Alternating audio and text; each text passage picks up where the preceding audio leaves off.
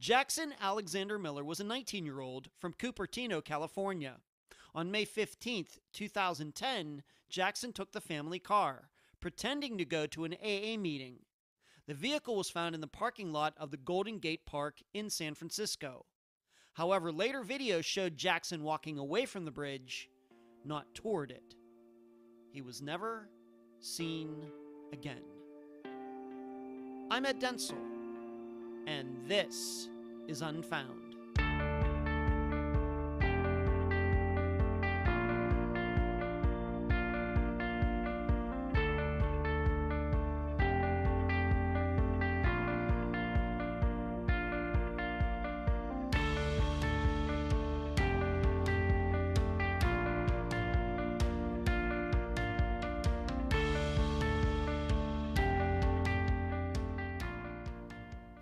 Learned over the three plus years of Unfound, probably one of the toughest things to determine is whether a fact is an actual element of the disappearance or is it just a coincidence?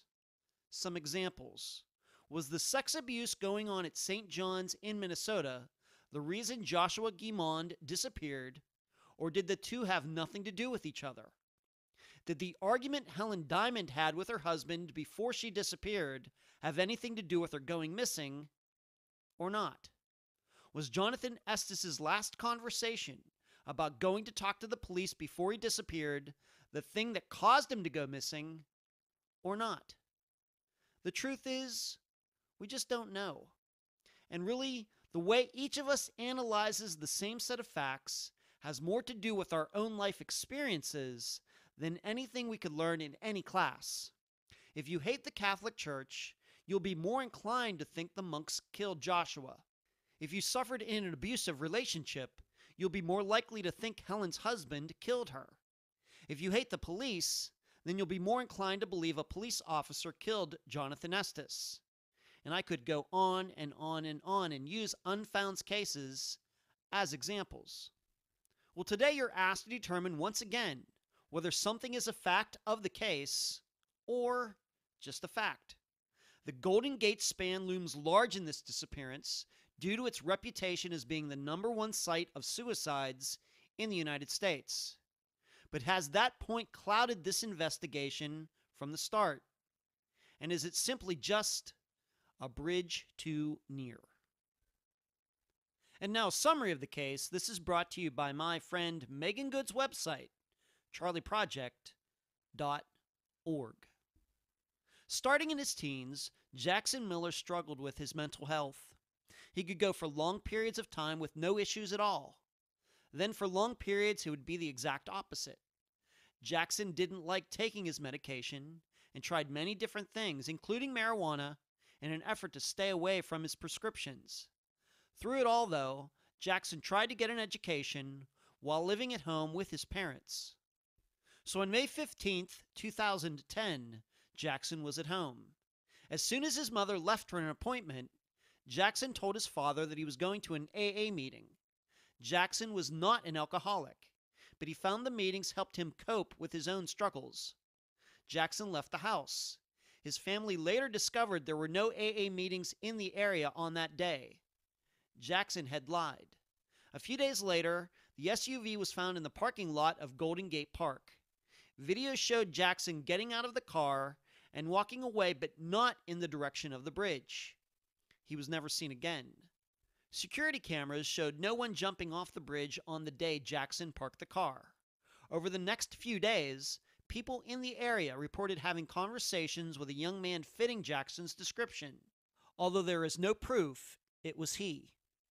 Jackson's disappearance is included in a group now known as the San Francisco Five five young men who disappeared within blocks of each other between 2010 and 2013. Each of the cases is unique, and we at Unfound do not believe they are related. But these are the main questions regarding Jackson's disappearance. Number one, was Jackson's disappearance a plan by him to make it look like he committed suicide when he really didn't? Number two, did the police use the Golden Gate Bridge as a convenient scapegoat as the reason for Jackson's disappearance, even though there is no proof Jackson ended up on the bridge? And number three, if you've watched the documentary The Bridge about people who have jumped to their deaths from the Golden Gate Bridge, do you believe Jackson would have been seen by other people had he jumped from that span? Jackson's family remains hopeful that he's still out there alive. The guest for this episode is Jackson's mother, Gina Funaro.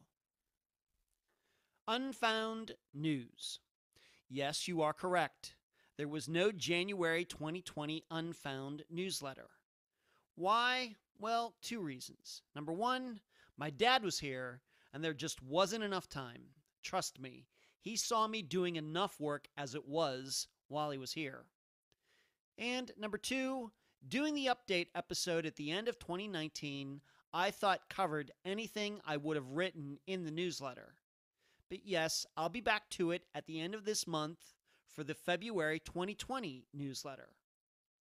Next, there are many new videos now on the Unfound podcast channel on YouTube. That is the work of my new assistant, Natasha. She is putting those together all on her own, so please take the time to check them out. And finally, there seemed to be a problem once again with Spotify last Friday. The Lisa Shuttleworth episode was only like half the length it should have been. Luckily, I was able to get it sorted out pretty quickly.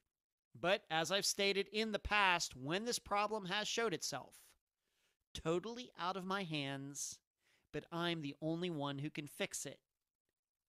Go figure. Where you can find Unfound.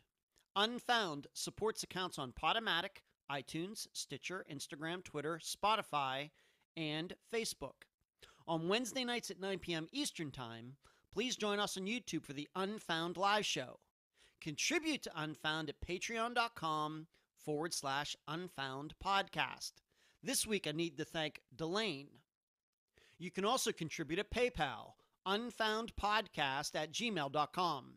That is also the email address. Merchandise, the books at amazon.com in both ebook and print form. And what do I say? Do not forget the reviews. Shirts at unfound-podcast.myshopify.com cards at makeplayingcards.com forward slash sell forward slash unfound podcast. And please mention unfound at all true crime websites and forums. Thank you.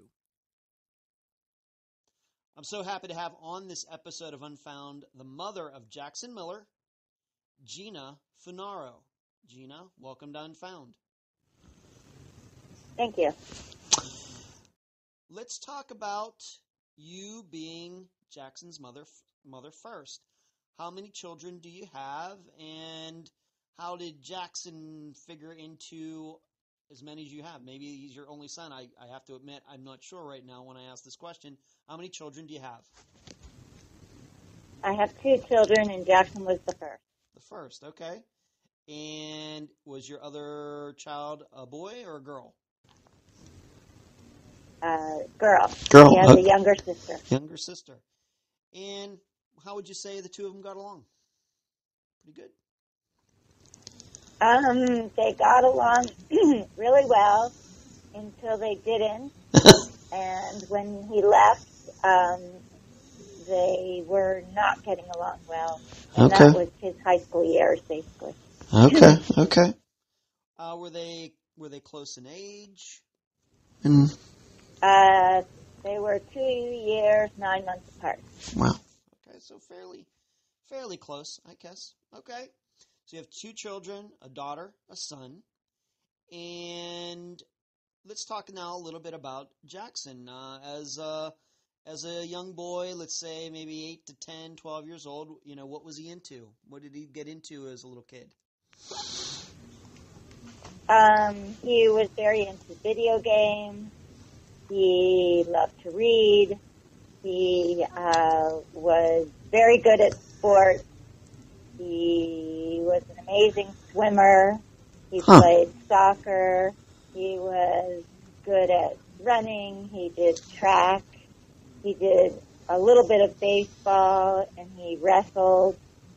And, Wow. Um, he played the piano, and um, mm, maybe I should have asked, is there anything he didn't do, Gina? That's a lot. You had him very busy. uh, I would say when he um, he was extremely busy and extremely active until um, until the beginning of high school. Okay. Well, then let's talk about that. Why why did that change? Um, in the in the during the summer um, before high school, he had decided. Um, we encouraged him, and then he chose a uh, private school to go to for high school. And he had gone to public school through eighth grade. He had a girlfriend at the end of in, through the end of eighth grade, and then um, as the year ended, um, she found out her family was going to move. Mm. So they were going to move out of town, and he was, of course, very upset by that. Yeah, and but then he also was going to change schools to um, a private school where he didn't know anybody but one person. He and his friend decided to go to the same school together. So, other than the friend, he, he didn't know anybody. So, mm-hmm. um, between, I think, the depression of the girlfriend moving, who he was super into, and um, the anxiety of going to a new school, um, towards it, um, and then he was, we, he was going to be on the water polo team at the new high school. He had been playing uh, recreation water polo through the local high school. So it was kind of, um, I was going to do this water polo and I thought it would be a good idea to, um, get him acquainted with the, um, water polo team before school started because, um, because once school started, I knew it was going to be academically really difficult and there wouldn't be much time and it would be nice if he had some ready-made friends from the water polo team before he started high school. Right. So they were doing this trip to Hawaii um, before school started, and it was supposed to be for kids only, um, like sophomores through seniors who are already on the team. But um, since he had been practicing with them in the summer, they, um, I said, could he go on the team so he could meet them? So they let him go and it turned out to be a really bad decision. He got extremely anxious, hmm. and he started exhibiting um, what we now know was um, obsessive compulsive disorder. Um, but we had we didn't know that that's what we were looking at at the time. Um, we thought that some of the things he was doing, like um, kind of uh, separating himself from the group and um, sort of, you know, hiding from things. We thought that these were kind of, um, uh, you know, he was just being difficult and being yeah. um, obstinate and you know, being a teenager. Yes. But um, we, you know, it's very difficult, especially with your first child, to know um, what things are normal and you know normal teenage behavior and what are extreme. So you know the hindsight is twenty twenty.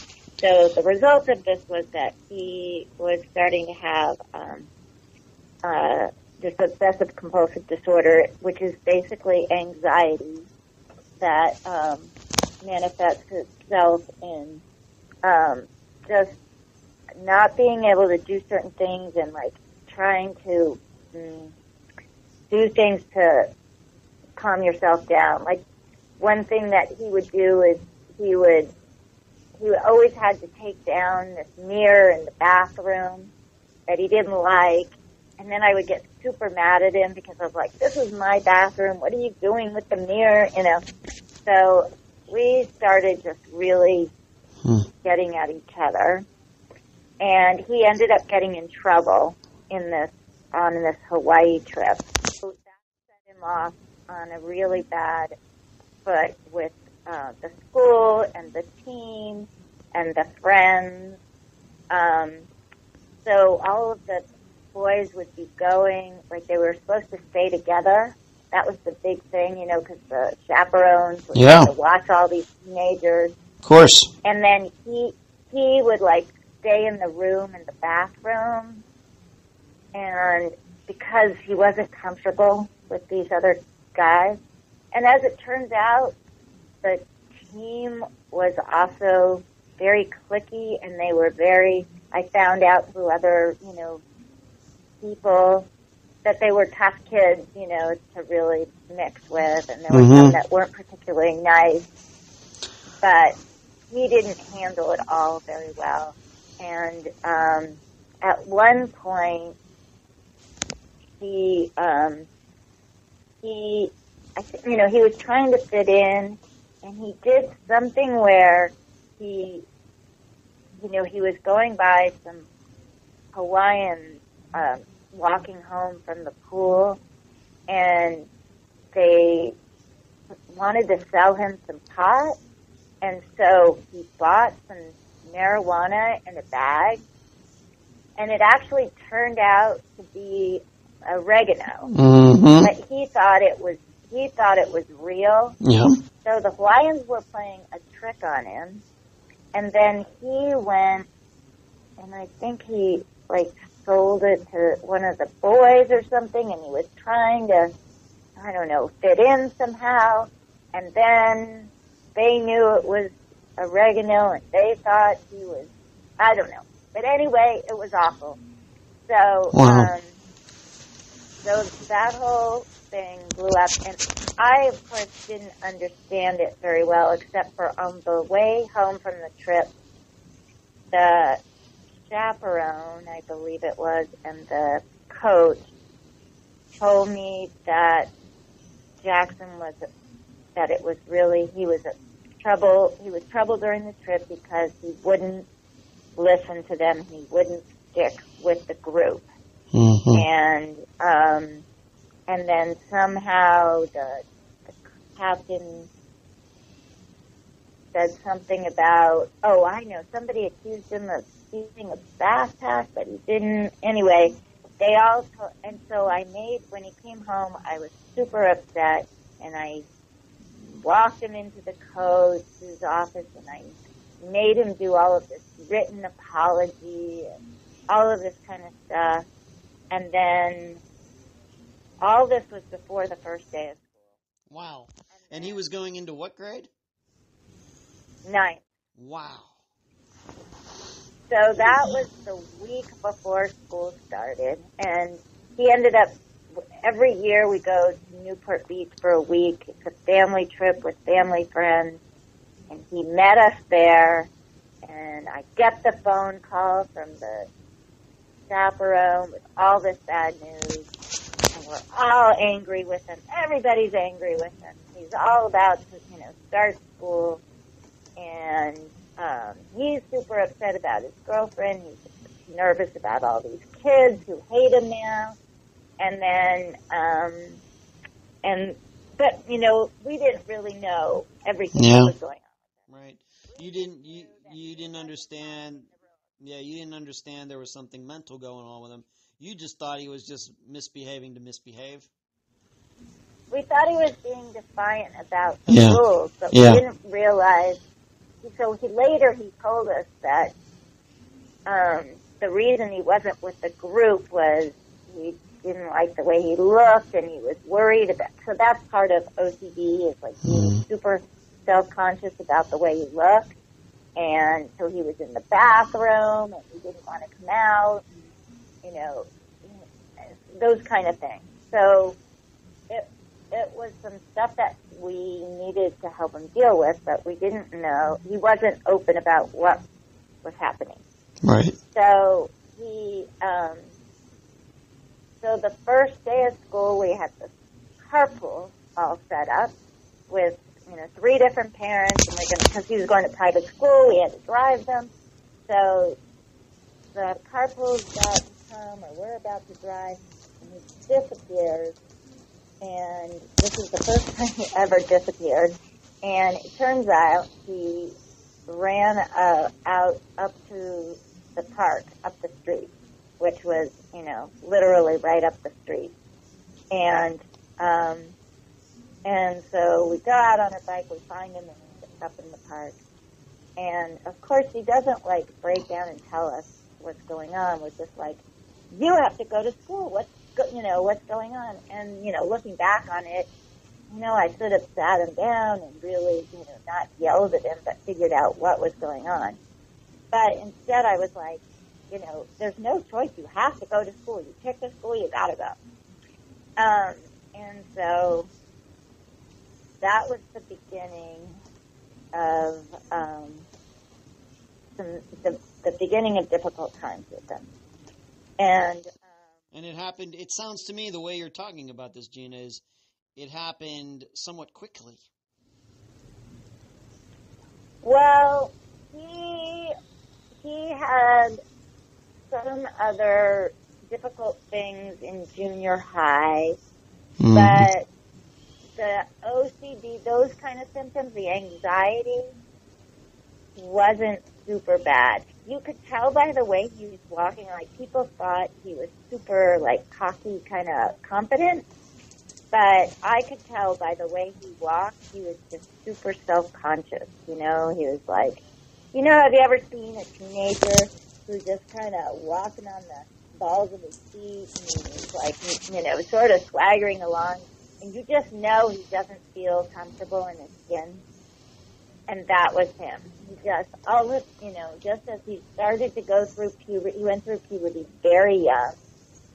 The girls fell in love with him, and they were older, and they started, you know, coming to his door, and he said, "Oh, they're silly, they're crazy," and he couldn't really handle it, and he didn't know what to do until until all of a sudden he did go through puberty, and then he knew exactly what to do, and then he, you know, started to get involved with girls too early, and and it was the older girls, so they were super advanced and sexually, and he, you know, was too young, and so he went through puberty when he was like in sixth grade. So by seventh grade, he was almost full grown. So that year, he just grew up super fast, and then he did have like in his seventh or eighth grade, he had like his first experience with another, you know with another friend Mm. or something, Mhm. um, taking a bottle of alcohol and, and drink, you know, going out and drinking. So you know he had those incidences where you know he you know had had done that behind her back, and um, and then he had this serious girlfriend who we were trying to like make sure they were never by themselves.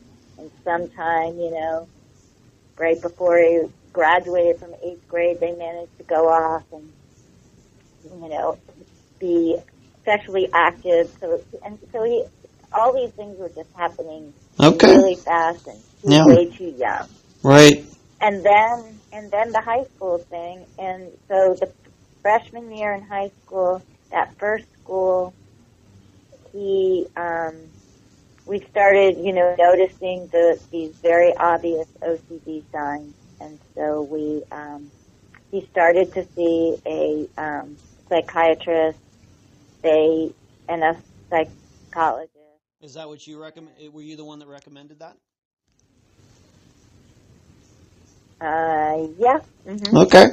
and um, and then they they they started diagnosing him by trying by giving him medication and seeing if that was the kid that that was what he had. It was ridiculous. He also had gotten an educational evaluation that said he had. This was also that same summer. They said he had um, ADHD or um, and so Mhm. they thought that they would put him on some medication, and he didn't really have. Uh, he- it wasn't.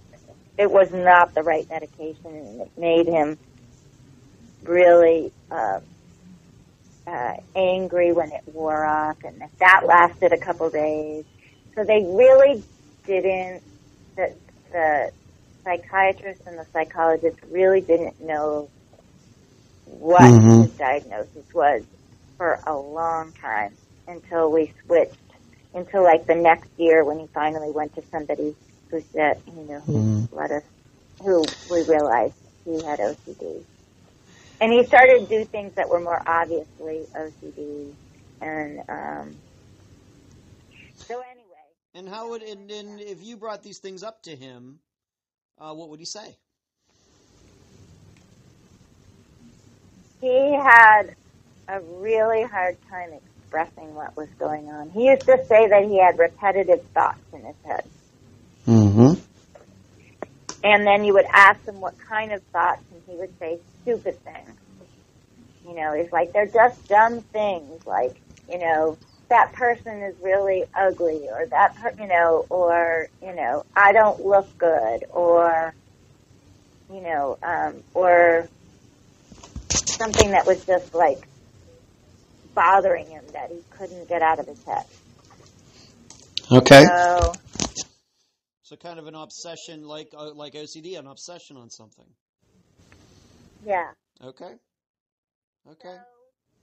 he he had really hard time going to school and between all the doctor's appointments and um and the school being very um rigid about um missing you know certain number of classes and then you then you got an F on the assignment if you missed a class and they were super rigid with him and they we didn't we didn't um, we probably should have just had him stop out at school for a while, figure out what was going on, and then continue. But you know, around here, it was just like you needed to like stay with the program, and if you you know otherwise you just kept falling, falling, falling behind. Behind, right? So we tried to stick to the program for his freshman year in high school, and he ended up by the end of the semester basically failing out. And we just realized that, you know, the school wasn't going to work for him, and um, and you know we were going to need to have him somewhere where he, we could just figure out what was happening. He could go to his appointments, and um, and you know he wouldn't be so stressed out and uh, so he ended up switching schools after Christmas, after the first semester, and there was another boy who knew about this school, and I was worried about this school because it was kind of a school with a lot of kids who, you know, weren't able to handle um, the more rigorous schools and stuff. So, um, you know, it was very, very diverse, and I didn't know, you know, what the drug situation would be like, and it was it was really easy for him, and so it gave him lots of time, and he was super smart, um, but he wasn't good at school. You know, he Mhm. didn't really he didn't have executive functioning. You know, he Okay. didn't have the organization, but he was really smart. Was was he able to make any friends at all while going to this school? To any of these schools that, that any friendships that's la- that lasted? Um, starting in freshman year, he had a really hard time with that. Mm-hmm. It was really difficult for him. Okay. He he's the, so he went. Yeah, it was just really difficult. Okay. So Uh, he even had this good friend of his who went to that school who tried to get him to go on the wrestling team, and he started to do the wrestling, but he didn't really stick with it. So, Mm-hmm. um, so then he went to this other school, and and then Was there anything over this time, like when he started ninth grade, up until you know, you know, senior year? Of course, he was 19 when he disappeared. But anything that worked at all? Any sort of counseling, any sort of drugs, any sort of therapy that seemed to work at all, in your opinion? Um, at one point, um, he found a, a doc, a um, psychiatrist that helped. Um, he he figured out that um, he put him on something called Lexapro, and um, that seemed to help. But he prescribed it wrong. He prescribed it for him to take in the morning, and it made him really sleepy. And he should have been taking it at night. I've since learned that it, it makes most people really sleepy. So it would have been great to take at night, um, but instead he kept falling asleep in his classes, and he became known as this person that was always falling asleep in classes, which is not a good thing either. Which didn't help. Which didn't help his already strained relationship with his classmates. I'm guessing. He used to always just nod off. He almost, it was like narcolepsy. As soon as he got in class, he'd nod off.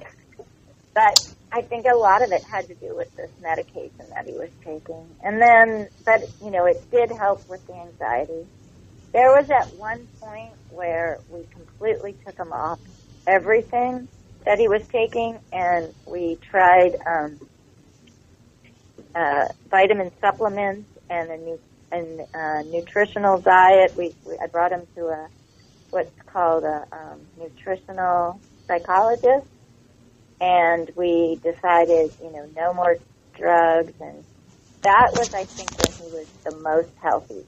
But he took like a hundred supplements a day, and but he, I, you know, I think that was when he was really feeling the best, and that was way later. That was, um, mm, that was about when he was, actually, I think, was that when he was 18 or 19? Yeah.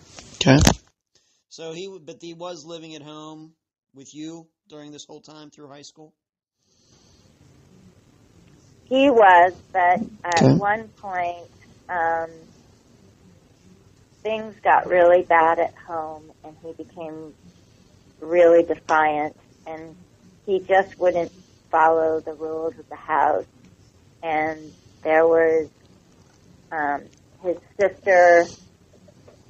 He w- w- was having a really hard time um, with him, and he he he he got to at one point he got very uncontrollable like he just wouldn't listen and he wouldn't get out you know he wouldn't like get out of a room when you asked him to and he wouldn't stop and so forth and eventually um we ended up having him go to a um a wilderness camp um because Hmm. things got so bad Wow. so he actually got um, picked up and um, sent to wilderness, which was extremely hard on me.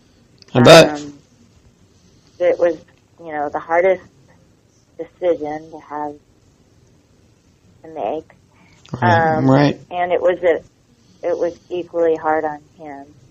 But it, it was also something. So he, um, he got so focused on his looks that he he couldn't um, just like he would. He decided he didn't like his eyebrows being lighter than his hair, so he would put mascara on his eyebrows, and then we would say, "Why are you doing that?" And he would say, "I don't." I, and he like wouldn't admit it.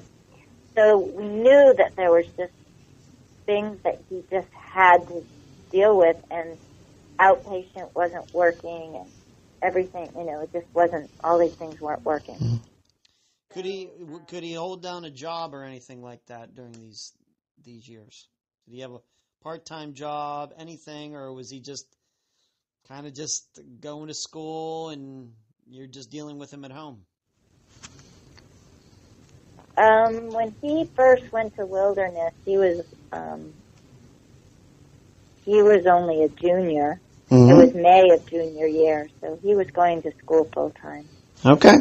And then, and in fact, that year he had transferred from that easy school to a more difficult school, and he had a very good year his sophomore year, and then his junior year, he because he had these ups and downs. His junior year, he decided his OCD told him that he was going to have the highest GPA of anybody in the school. So he went from having a very normal schedule his sophomore year and doing quite well and, and, and swimming. And then, and then he decided, you know, he was going to take all these AP and honors classes and he loaded his schedule. And before he started the semester, I went into the his guidance counselor and they said, you know, he has OCD. He wants to have the highest GPA in the school, and he, he's not going to be able to do this. His anxiety is going to go through the roof, and it's going to be a disaster. And his counselor said, "Oh no, it's okay. He can do it." And I'm like, "No," they wouldn't. I said, "Can you please talk him out of it?" And they they, They couldn't do it. They didn't talk him out of it. So that was his junior year. And as soon as things, the pressure got too hard, he started to do that thing where if he had a test, he would refuse to get out of bed and he refused to go to school and he would just freeze. And because if he didn't get it, if he didn't get an A, it wasn't worth doing anything. You know? Right. It was, he was an all or nothing guy. Right. So, so then it was about that same time in the fall of his junior year that um, he started to smoke pot with um, a friend's older brother. Introduced them to pot, the one who went to that school with him, and um, and then the discovery of that was that it made his anxiety feel better. And that became the beginning of the end of using, um, thinking that pot was his answer to his anxiety, and as opposed to drugs. And so, back then, pot was, you know, a really bad thing, and it was illegal, and it wasn't allowed in our house, and you know, and it was so it became a big to do. And it became, you know, a fight and a this and a that, and um, and then that was the year in May finally that we sent him to wilderness, and he was in wilderness, you know, for whatever it was, twelve weeks or something, and then after that they recommended that he go to um, a um, therapeutic boarding school. And he went to therapeutic boarding school until Christmas. And then he came home at Christmas time. And he really was much better. And um, he, the whole time he was away, he was super remorseful. He missed everybody and wrote us amazing letters. And he said, you guys are the best parents in the world. I don't, you know, hate you for doing this. I know this is, I was out of control and this is what you had to do. And I love you guys and I'll do anything to be able to stay at home. And, so then he came home and they they actually in therapeutic boarding school he was sort of rising through the phases that they have there and he was doing great. And then all of a sudden they said you know we think that he's figured out the system here and he knows what he needs to do but we don't feel like he's integrating it emotionally. And He's putting on a little bit of a show regarding the, the everything. He's putting on a little bit of a show. well he, he they felt like he was telling the counselors and everything what they wanted Wanted to hear. Okay. and they didn't feel like because he was so clever Mm-hmm. he wasn't real but he wasn't really able to internalize some of the problems that he was having one of which was addiction which at the time didn't seem like it was huge so he hadn't really dealt with it very well so at the last minute they said he's not ready to come home and it was too hard for him and for us to switch gears and then not bring him home because we were all, you know, prepared to bring him home and so forth. We missed him, he missed us, and they said he was ready, and then they said he wasn't. And my husband was, you know, we were working out a million dollars that we didn't have, and so we just wanted to see if, you know, he's our son. We were gonna figure, it- you know, we were gonna figure out if he was ready to be home on our own. So he came home at Christmas, and he'd been gone, you know, since May. So, um, so he came home, and he was doing great, and he was doing great for several months until he started smoking pot again, and then we had him in an outpatient situation, and then. Um, and then he was doing all kinds of things, you know, like mm, having his sister do the urine test for him and that kind of Oh thing. boy. And um, so She went along with. Did she went along with that, Gina? um, I think I don't mean to, to to be humorous about it, but she would. Yeah, I know you didn't probably didn't know, but she went along with it. um, I think she did at one point. Okay. Um, All right. I don't know. Uh, we didn't know at the time. Right. You know, we always find these things out a little, and we Mhm. were very vigilant. By the way. I I believe it. It sounds like you were. It's just it. This sounds. Uh, you know, the listeners. You know, you've been talking about this, and I'm sure. You know, we we do talk about mental issues, and we have talked about OCD and things like this. Uh, you know, many times on the program. Uh, this does seem to me, at least in Unfound's world, seem to be one of the more extreme cases of you know how you dealt with this for several years, doing what you could, being very vigilant, doing the best you could, but doesn't sound like a you know except for this just this last part that you mentioned doesn't sound like a lot was working. Well, he did have some really good years. I mean, Mhm. his sophomore year, he, Okay. he got great grades. He was great grades, and he was on the swim team. And um, you know, he had maintained some friendships. We had uh brought a foster child into our home who we thought was a really good example, and um, they became good friends. And um, we, you know, so there were, you know, there are there were some um, successful times too, um, but you know, especially difficult was the beginning of his freshman year, and then junior year was really really difficult, and then um, what happened was. Um, let me see if I can remember the turn of events. Um, so, um, I think, was it I can't remember. Anyway, we ended up, um, oh, his senior year, he um, he ended up going. Um, oh, when because he came back in December and he couldn't go back to the same school again. So his senior year, he ended up going to the public school. After all, the one he would have gone to in the beginning. You know, I always thought, well, maybe he could have gone there in first place.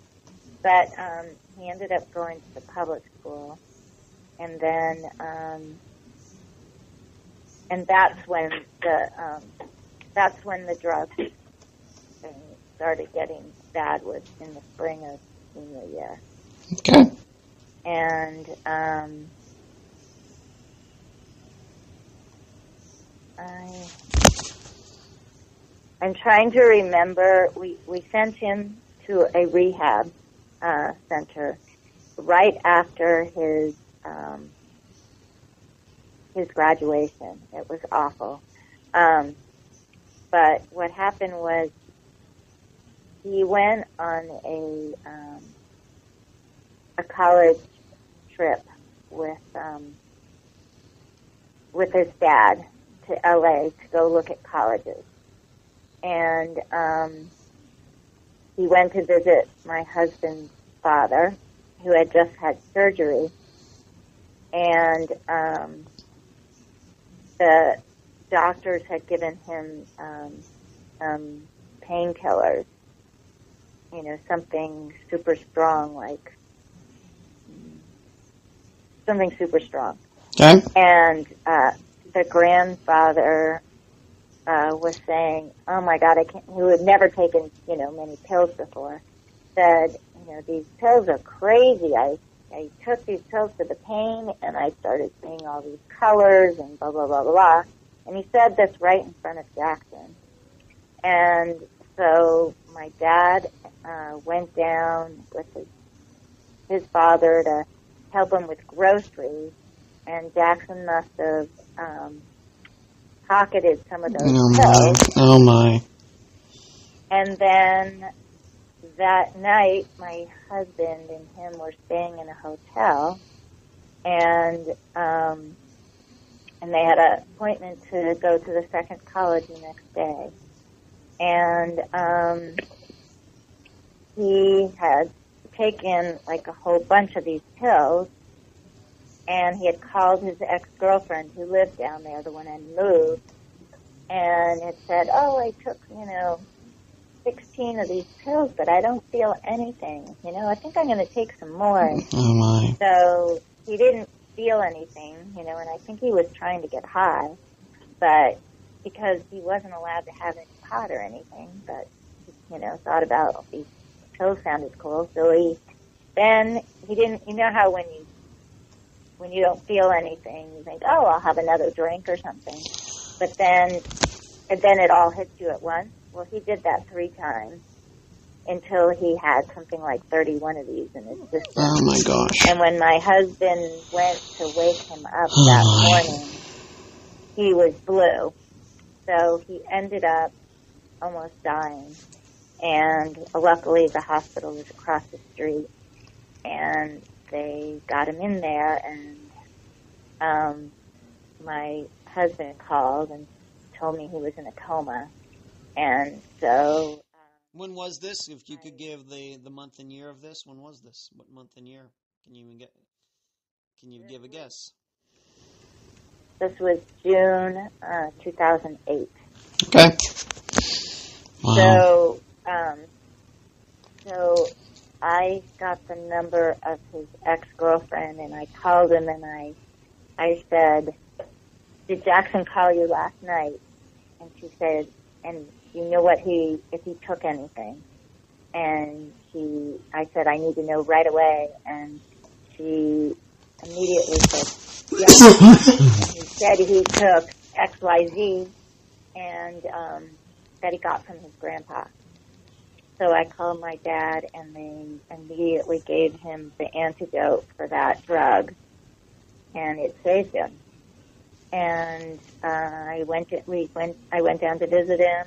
He had a tube in his throat, and he couldn't talk. And he wrote, "I will never do drugs again." And um, you know, we thought that was the end of it. And then, like a week later, he was smoking pot. So that's when we made the decision he had to go to rehab because he was about to turn 18. He turned 18 on June 19th. And so the day that, and we knew once he was 18, we had no control over him. yeah. So we did the same thing again. We had him picked up in the middle of the night right after graduation and um and sent him to rehab.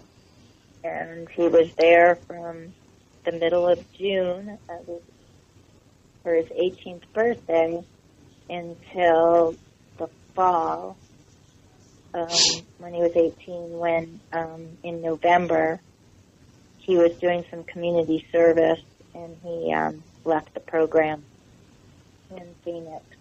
So, um, and that was when we they had the program really I, we didn't like for various various reasons. One was that they put him on all these different drugs and you know medication, and they and and they wouldn't tell us what they were, and blah blah blah blah. So when he came home, we put him on all just the supplements, no more drugs, and that was when he really did the best. And uh, he was, and so he um, he he did really well for for a long time, and um, he went to the community college and he got a job as lifeguard, and he was lifeguarding at Stanford and lifeguarding at the Y, and um, he was coaching at the swim club. So he was holding out down a job, and then um, and then this thing happened. Is uh, after he turned 19 in the fall, he was still going to this psychiatrist, that the one who who had given him Lexapro, and we had gotten him back with him, and um, he was still on this, still had this idea that um, this was when medical marijuana started becoming popular, Okay. and he had this idea that he should go on medical marijuana, and we and I said no, as long as you're living here, you can't. So um, then the psychiatrist told him, well, you know, oh, I know, this, that's how he got on the kick without the medical marijuana. The psychiatrist gave him this idea uh, that since you, you know, don't think the medicines are working for you and you think that marijuana is going to be better for you, why don't you go to Humboldt University and um, and do your medical marijuana thing and live away from home where your parents don't have to, you know, you don't have to abide by the rule of not being able to do it there and see if it works for you. So he got the, that idea and he convinced his father to let him do the medical marijuana thing against my will. Mm-hmm. And um, I bet. and then um, so we had this very strict contract with him, and uh, he needed to get a certain GPA at the community college. He needed to hold down his job. He needed to go to counseling. We had various different therapies that he was doing. Um, he needed to, you know, basically social life and all these different aspects of his life he needed to keep. And we had a big chart, and he had to do it all. And he had to keep this the lowest dose possible and not increase it, which he did. And um, and so he did everything in the contract, and he was actually doing quite well, um, much to my chagrin because I did not want him to be doing it. And um, then, while he was going to um, to the community college, he decided in when the semester ended. So uh, they were in quarters, so it was like April. He decided that he wasn't at the top of his game. So you remember that Jackson always had to be perfect, and he always had to be doing the best imaginable. And he decided that the marijuana was affecting his, you know, memory or whatever, and he just wasn't as good as he could be. So he decided he was also taking this pill called Klonopin, and he was going to a different psychiatrist because I was so mad at that other one. He told him to go to Humboldt and do the marijuana when he knew he was, you know, addicted. Yes. So I said, for, yeah, I was furious at him. So we went to a psychiatrist. So um, this guy had him. Jackson got him to switch his medicine to this thing called Klonopin, which was probably the beginning of the end because Klonopin is extremely difficult to get off of. And this, Jackson decided, I don't want the Klonopin anymore. This is the spring of his night when he's 19, and uh, he's going to college. He's doing all these things, and he decides, I'm not at the top of my game. I'm going to quit smoking marijuana um, after this three month trial, and I'm going to quit using Klonopin. So he starts titrating off the Klonopin, and his anxiety goes through the roof. Which, if you've heard any commercial for any of those pills, it says, you know, do Mm-hmm. not, you know, stop taking this medication without supervision from your doctor, you know, because suicidal thoughts can happen and da da da da. So he, his anxiety goes crazy, and so he can't.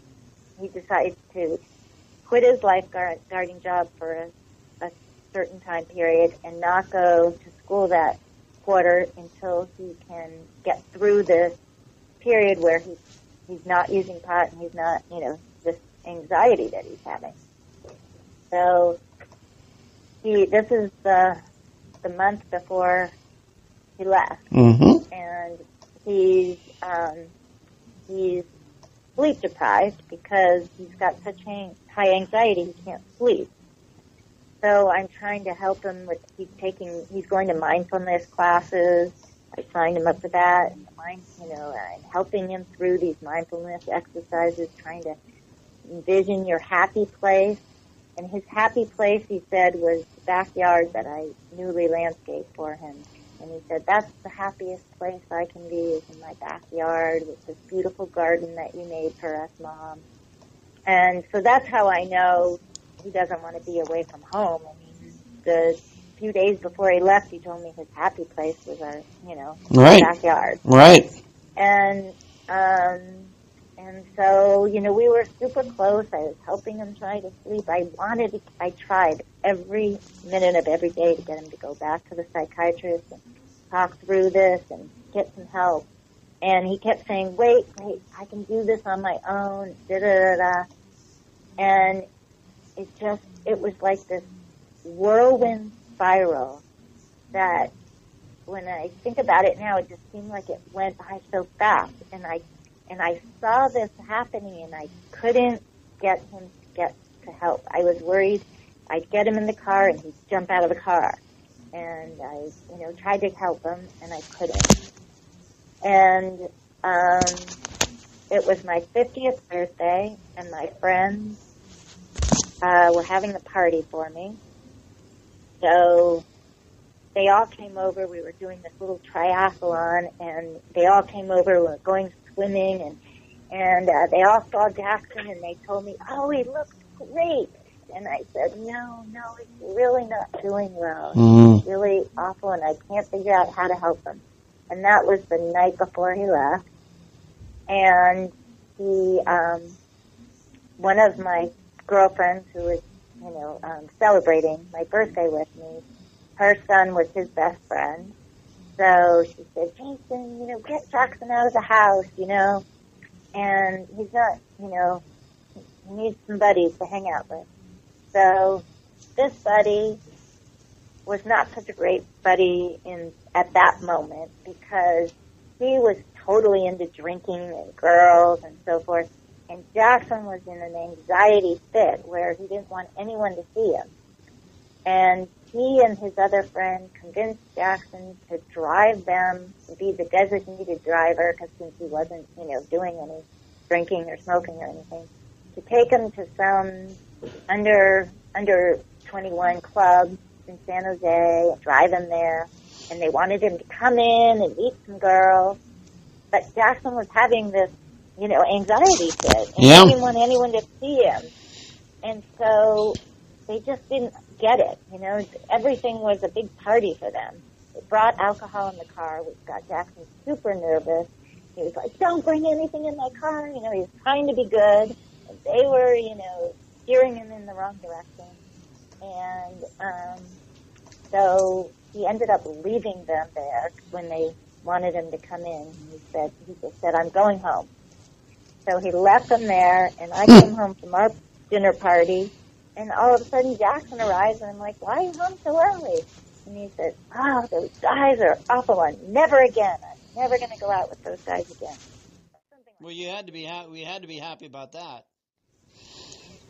Well, I didn't, I mean, I didn't know what they had done. Mm, okay. You know, um, and, you know, really this one boy was one of his best friends, you know, and I, and I knew he was like into drinking and so forth, so that wasn't good, but, you know, I wanted him to have a friend, but I, but then when I found out, you know, he said, you know, they brought alcohol in the car and da da da da, and I'm like, oh no. Yeah. So he he went off to his room and he was really upset. And you know, I had just been at a dinner party celebrating my 50th birthday, so I was really sleepy. So I went to bed and I said, "Oh, I'm going to talk to him in the morning." So then the next morning, he just seemed really despondent. And this is the day he disappeared.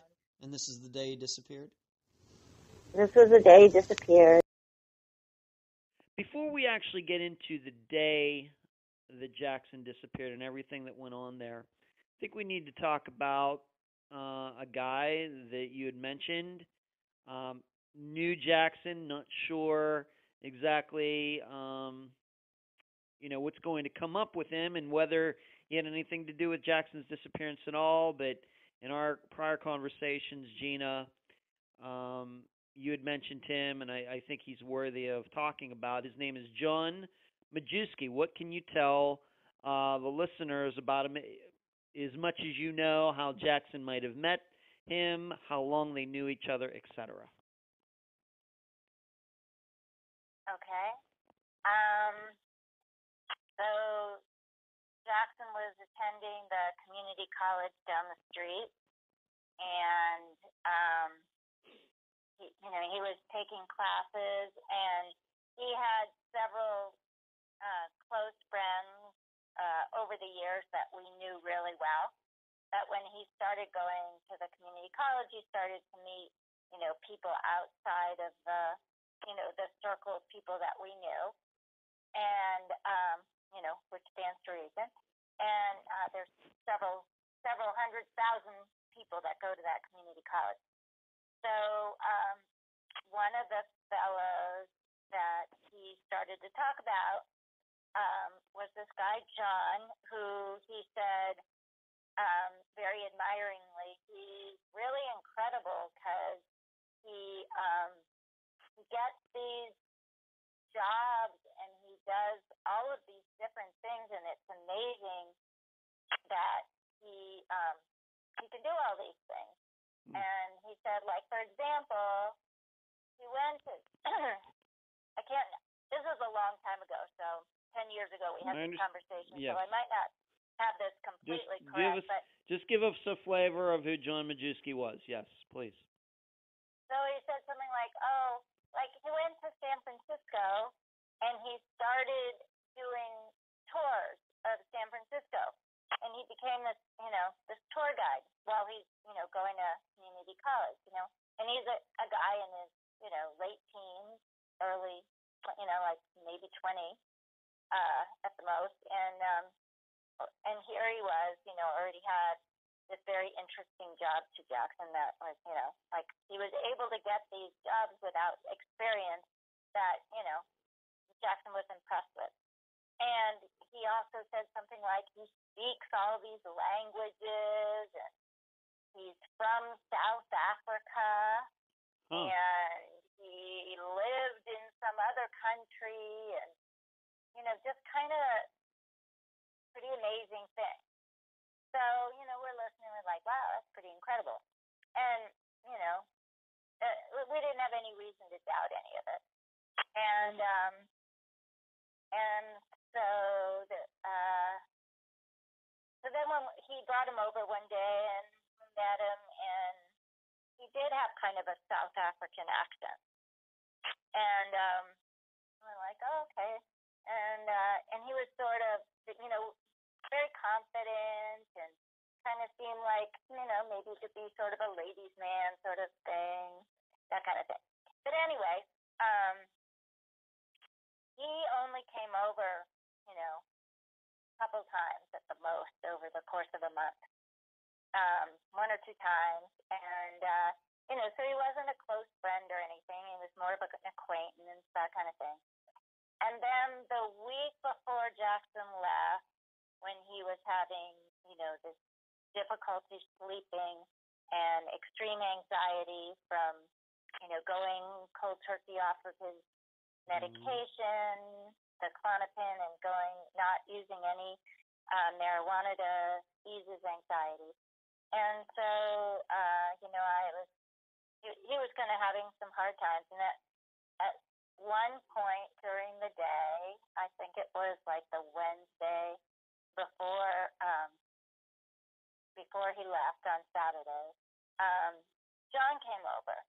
And, um, Jackson was outside on the patio and I was upstairs working at my desk.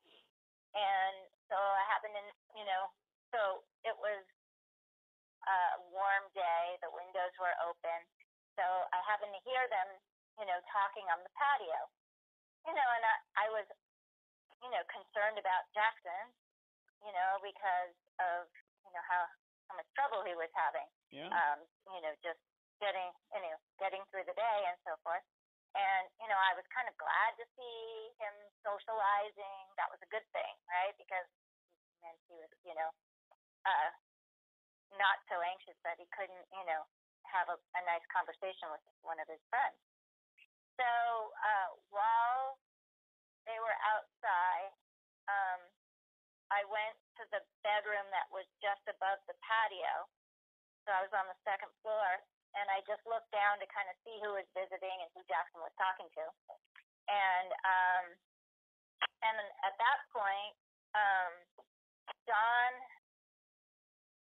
let's see, Jack, I think Jackson was handing something to John, like I don't know, a piece of paper or a, maybe a piece of money, or, you know, bill or something. He was handing him something, maybe a business card. I don't know what it was.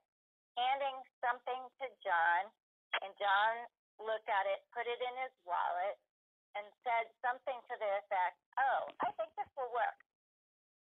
And uh, and so he put it away, and then he goes, "Okay, gotta run." Blah blah blah. Talk to you later. And then he left. So um, so I was curious, you know, what were they talking about? So uh, I went down and I talked to Jackson and I asked him, you know, so, you know, what were you guys, you know, talking about? And um, he said, uh, I think, I think on that day, I said, I, I heard him say something like, I think this will work. And um, Jackson said, uh, um, it might have been a few days later, I'm not sure. But the story I got from Jackson was um, that John wanted um, to sell one of his Klonopins or something. And Jackson gave him one to sell. Something to that effect. Okay. and you know he knew some something like that. And he knew that that would make me extremely angry. There was big there was big uh rules about not doing that blah blah blah blah. But you know he thought he was you know he was telling me this you know because that was the story he gave me. So then the strange thing about that was that um after Jackson left so that was the last person that Jackson talked to before he left. It might might have been more like Thursday because or Thursday or Friday because it was very close to you know just a couple days before he left. Okay. So it was because I know it was he was the last friend who came by, other than the two good friends he went out with the night before. So it was kind of the last person he talked to. So when Jackson left and we were looking for him around Cupertino on Sunday, uh, he left on Saturday evening. Mhm. Um, I called this John Majewski, and you know I didn't, so I didn't know much about him, but I, you know, I was super worried, and um, I finally got a hold of him, and you know he's like, oh yeah, sorry, I didn't answer the phone right away. I was, I don't know, he, he said something like he had this car accident. And he was always full of all these crazy stories. He was, I don't know, on this windy road, car flipped over and da da da da, and then this happened, da da. But anyway, sorry I didn't get back him. I said, well, I'm looking for Jackson. Do you know, you know, anything about where he could be? I'm super worried. I think something's happening. Da da da da. What, you know, tell me anything you know about where he could be. And he said, oh, you know, I really, I don't know anything. And I said, well, you know, um, when you came over, I was upstairs and I heard you say, uh, I think this will work. And I just wondered what it was you guys were talking about because that might, you know, help me figure out where he is. And he said, um, oh, well, you see, I, um, I go to these great parties and I know a lot of girls. And I really think that Jackson's, you know, he's such a great guy and he's so good looking and that so forth. And I really wanted to introduce him to some of my, you know, friends that are girls. And so I was going to have him come to this party, and um, you know, I wanted, and you know, and I wanted to kind of set him up. And I thought, oh, okay, this would work. You know, I was, he would he would come to this party I was going to have on blah blah blah or whatever it was, and I was going to introduce him to these great girls I know. And I was like, really? Are you sure you're telling me the truth? because mm-hmm. you know Jackson told me a totally different story. So in my experience with kids at that point, if you get two different stories about the same event, it means that one or both of them are lying. So um, you know, and that very well could have been both of them, or it could have been just one of them, but it was clear that one or both of them was lying because it was Yeah. two totally different stories about what that meant. Yeah, for sure. So I never really, I never really did find out um, about that, and um, something interesting happened later on. I, somehow, I found out that a pretty good friend of mine is very good friends with this John's parents, and um, and she she was calling me about Jackson. She felt so bad, and da da da da. She was helping me look for him, doing things like that. And then somehow I happened to mention the last person that Jackson saw was this John John Majewski or something from South Africa. So she said, "Okay, I grew up with John since he was a baby because we are very close with his parents." And something you should know about him is he's not from South Africa. He's from right down the street from you in Cupertino. Oh my. He's as American as apple pie. His, I know this for sure because I knew his parents when they were pregnant with him, and you know I've known him since he was born, basically. And it was just kind of a coincidence that I found happened to find out that she knew this person. Um, so, so she told me um, another thing is that um, it was clear to her that, in her terms, he he was a pathological liar, and that he was known to have lied a lot about things and doesn't even really realize that he's lying about it. And like all these stories and stuff were all fabricated. And I have to say that that's classic of Jackson is that he was super gullible and he would believe anything anybody said. So, you know, the fact that Jackson believed all those things is as much about Jackson's character as it was about how good of a liar he was. You know, it it could have been somewhere in the middle. So, um, so Jackson believed all these things that actually weren't true, and he was all impressed with this guy. But it turns out, you know, he was just a kid down the street who went, you know, my. and and he had he he was he actually when I think about it, he was several years older than Jackson. So he had um kind of been a, in and out of school, and he had had his own issues. And and according to this friend of mine, um, you know, his parents were a bit um in denial about you know the issues that he had. They were trying to help him um kind of get on a, a good track, but um Wow. in in her mind, you know, he he was a bit lost in terms of I don't know whether it was, you know, drugs, mental health, combination of those things. Um, you know, just being able to, I don't know, you know, not lie and just, you know, kind of live a normal um, 20, 21 year old life. So um, that's who that's who he was. Okay, let me ask you. So, Uh, let me um, ask you one question about that.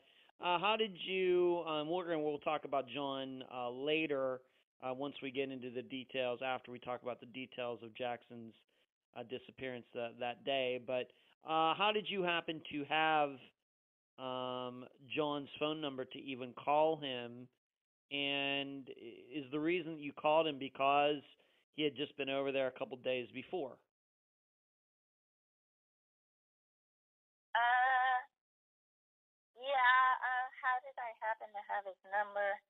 Probably from Jackson's phone, and Jackson. Well, I guess I didn't have his phone yet. Mm, maybe I didn't call him until I got the car, and then which is when I got the phone. But um, I mean, I I had access to all to Jackson's computer, Right. you know, anything in his room.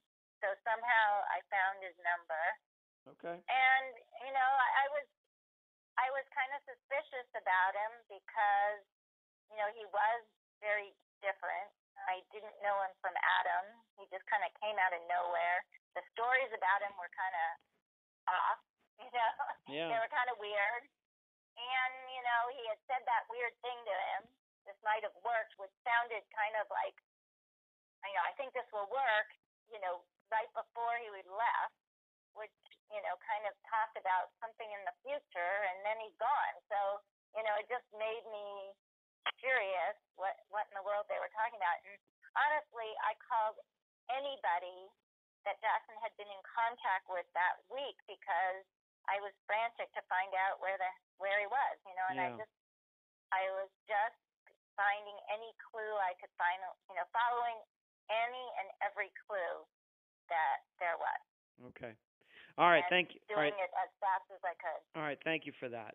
Now let's move on to um, that day that Jackson disappeared. You've already talked about, uh, you know, getting up that morning.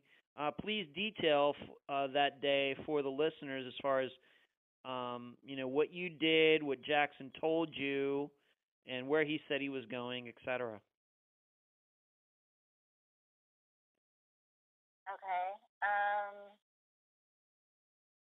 So that day was after he had gone out with his friends, and he was upset that they, you know, made him go to the, this um, under 21 um, kind of bar and try and meet girls and stuff when he was feeling so anxious. So he was mad at his two good friends, and he woke up and um, he seemed despondent to me. He didn't seem Mm. interested in much of anything. Um, his father asked, you know, said, "Let's go take the dogs for a walk," and they walked around the block. And his father talked to him about whether he wanted to get a puppy to replace his dog that he loved, who had died in January. And uh, you know, we had waited a couple months, and so we thought, you know, anything would get him excited. That would be it. And Jackson told his father, "No, that's okay. You know, he just didn't sound that interested." So that was like a clear sign that he just, you know, was really feeling hopeless, you know, and just just not feeling well Okay. and um and I was always uh on the um always trying to get him get outside and and do something outside, get some vitamin D, exercise. He was um always a very athletic guy. So not getting outside and doing things was, you know, not a good state for him. And I thought it would help with the anxiety. So I tried to get him to go swimming with me at our club across the street. And uh he said, No ma, you go. You know, I don't really feel like swimming. So um so my friend had wanted to meet me across the street at the pool and go swimming. So uh, we had all been home all day, and then this was at about two thirty or three or something like that.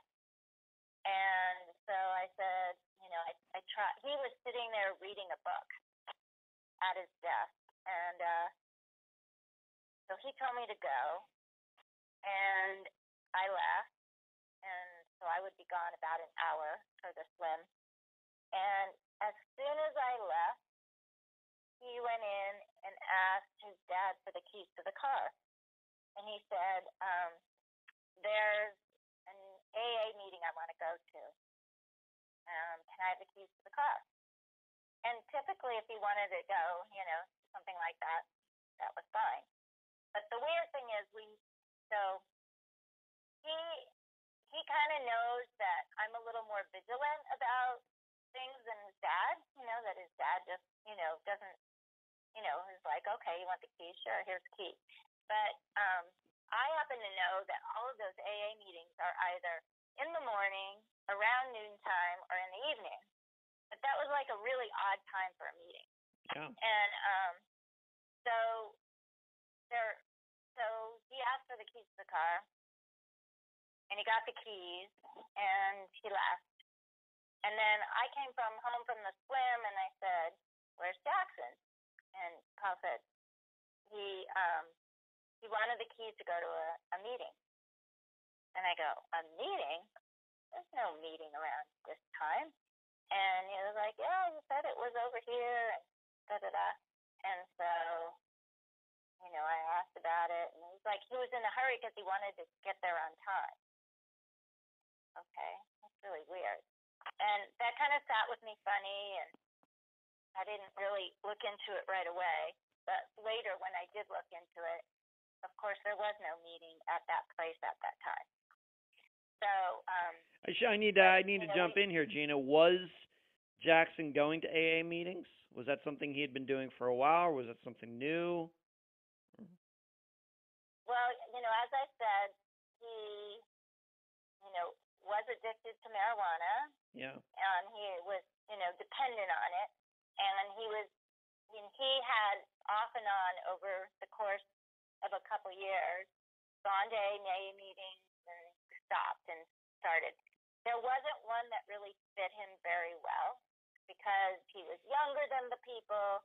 He didn't have an alcohol issue. A lot of them had alcohol issues or Right. harder drug issues. So, you know, and a lot of them felt like, you know, addiction to marijuana wasn't really a real addiction. So, you know, in a lot of ways, he didn't really. He also, you know, they try and find their higher power, and he couldn't find his higher power. So he would get into it, and then he wouldn't. So, yes, it was something that he did on on and off. Okay. And there was some people that he did become friends with. And they went to this. There's this young people's group, and they went on a trip to L.A. and they danced all night, and there was no, you know, drugs or alcohol or anything. And so he kind of found a, a group for a little bit that was working. So, you know, we were we were happy when he did it, and we felt like you know that was a good thing. Okay. Um, so, you know, so that's why his father said, you know, sure, if you want to go, go. But there was no meeting. And so then we had an event. Uh, it was like a barbecue kind of thing at this club across the street, the pool and tennis club. And we were all going to go. Kind of a, a, you know, our family often did things uh, over there. It's just this casual place. And so, you know, we I showered after my swim. We put on some clothes. We got the, our daughter. We, you know, and we're like, well, you know, we we kept calling Jackson. We didn't get any response. So he and he, he was at this period where we figured he wasn't going to want to go anyway. So we left him a note. We said we went to the club, and uh, and we figured he wouldn't want to go. So we went over there, but you know we were you know we were kind of worried that it had been now a couple hours Yeah. And he hadn't come back yet. Of course. So, um, but you know, typically there wasn't anything to worry about. You know, usually we go to the meeting, and usually what they do is they hang out for a while, and they talk. Sometimes they went for coffee or whatever. So a couple hours wouldn't be that abnormal. But we came home from the thing early, and we were like, okay, what are we gonna do? He's not here. He's not answering. And he's in So your and he's in your car worried. and he's in your car. Yeah, he's Right. in our car. Right. and we can't find any sort of sign of and you know any anything else about any clues to where he went and i think we probably called all his friends and said you know where he is you know where he is we called around called everyone we, that he knew that we knew and nobody knew where jackson was so we called the police and we reported him missing so um they came over and um they were extremely unhelpful. Right. So it turns out there's there's actually a protocol that when you when there's somebody under 21 who is missing, you are supposed to go in their bedroom and you're supposed to secure all of their their computer and all of their um, phone and everything and take it and analyze it right away and you're supposed to immediately report them to um, the National Center for Missing and Exploited Children. Well, they didn't do anything uh, like that. What they told me was he was probably out having a good time. And I tried to explain that you don't understand. He was in a very bad, you know, mood. He was despondent. He was depressed. He was not himself that day, and um, where you know he didn't have a good time last night, and we're pretty, you know, we're positive he's not out having a good time tonight. Um, we're worried, you know, that something's happened, and um, and so they said, oh, okay, we'll we'll look for it. But um, you know, but they they didn't. It wasn't a high priority. He was a one month shy of 20 years old, yeah. so he was 19, and he was male, and I don't know. They Mm. just didn't think Yep. he was a high risk to worry about. You know, they had bigger Mm. fish to fry. Did they when you uh, let them know? Did they actually come to the house, or did you just talk to them on the phone? The police. No, they came to the house and took a report, Okay. We sat in the living room and talked about it. All right. and they asked some some questions.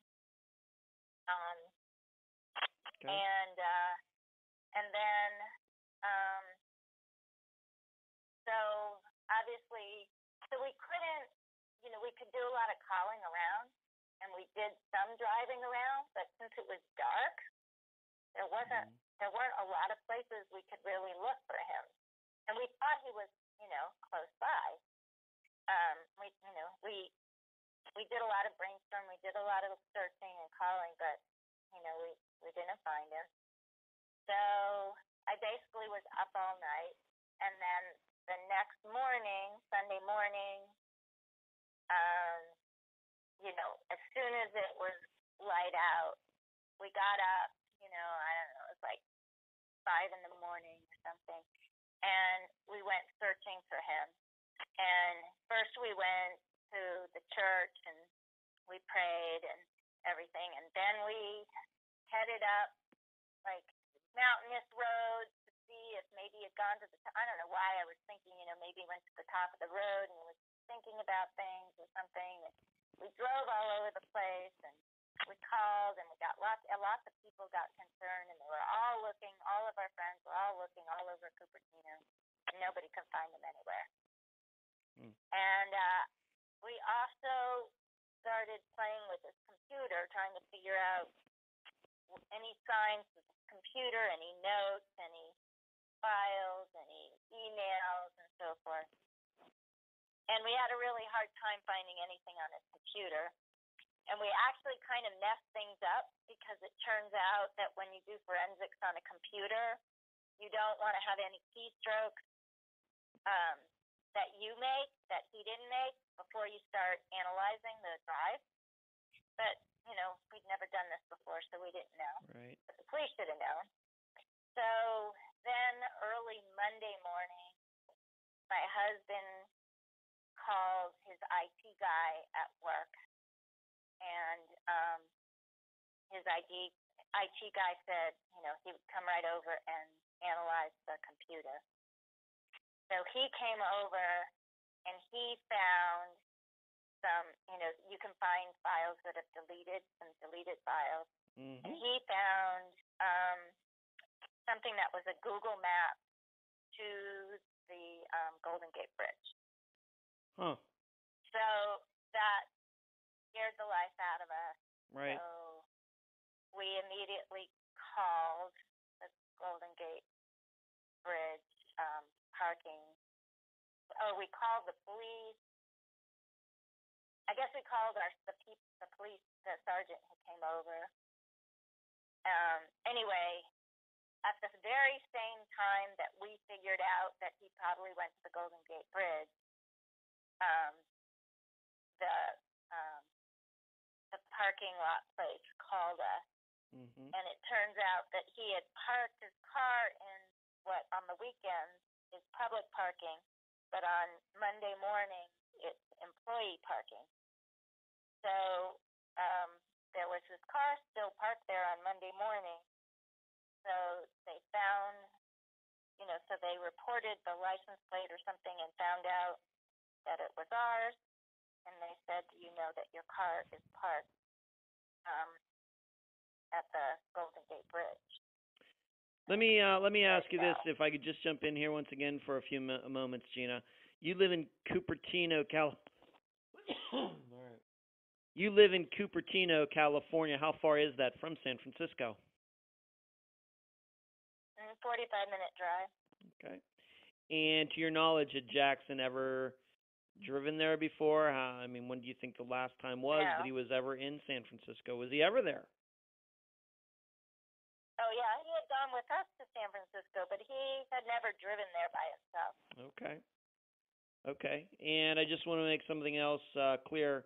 When he disappeared, so he's missing, the car is missing. Did he take his wallet and phone with him, or did he leave those things behind? He took his wallet and his phone with him, Okay. and um, he uh, was so he wore a couple of rings, couple of silver rings, Mhm. and a chain and a little silver chain around his Mhm. neck. Okay. and he took he took those off and left them in his uh desk in the top drawer of his desk. Okay. And he typically would wear those every day. Okay. Um And I he wasn't wearing please. anything special. He was he was wearing um kind of long shorts that went Mm. to about, you know, his knees. And he was wearing these um shoes that so Jackson was very um uh particular about what he wore in general, you know, he only wore certain colors and he always had to look just a certain way that he wanted to look. And um so these shoes were his dad's. They were from Target, and typically he wouldn't be caught.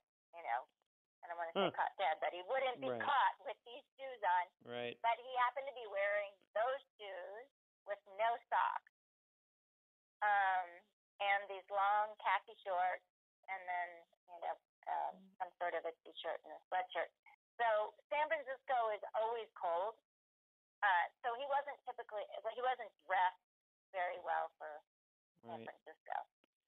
And I should Um, I should ask when you were trying when you figured out that this AA meeting didn't exist and that Jackson had, he had lied about that and you and others tried to call him knowing that he took his phone uh, was it going straight to his voicemail or was it ringing do you, do you even remember all these years later It went to voicemail, and we left. I, le- I remember I left. Mm, I left so many messages on that phone. When I finally got the phone, all the messages Okay. were from me. So I I I, I maybe once again I realize it's been almost 10 years now but was it going directly to voicemail or do you think that it rang for a little bit and then went to voicemail? That that could be a you know uh I guess we could say that'd be the difference between the phone being off when it goes straight to voicemail and it ringing maybe seven or eight times and then it going voice to voicemail would mean that the phone was on he just wasn't picking it up Do you remember? I know it's a very technical question, but do you even remember? I don't really remember. Okay. I think that I I remember the feeling uh, that um that it was going straight to voicemail. Voicemail. Okay. All right. So th- this happens. So this happens on a Saturday. Uh, police come get there. They don't. Of course, they react as most of the time police do when it comes to late teens and adults uh, disappearing. They say, "Oh, don't worry. You know, he or she is going to come back." Um, that happens very often.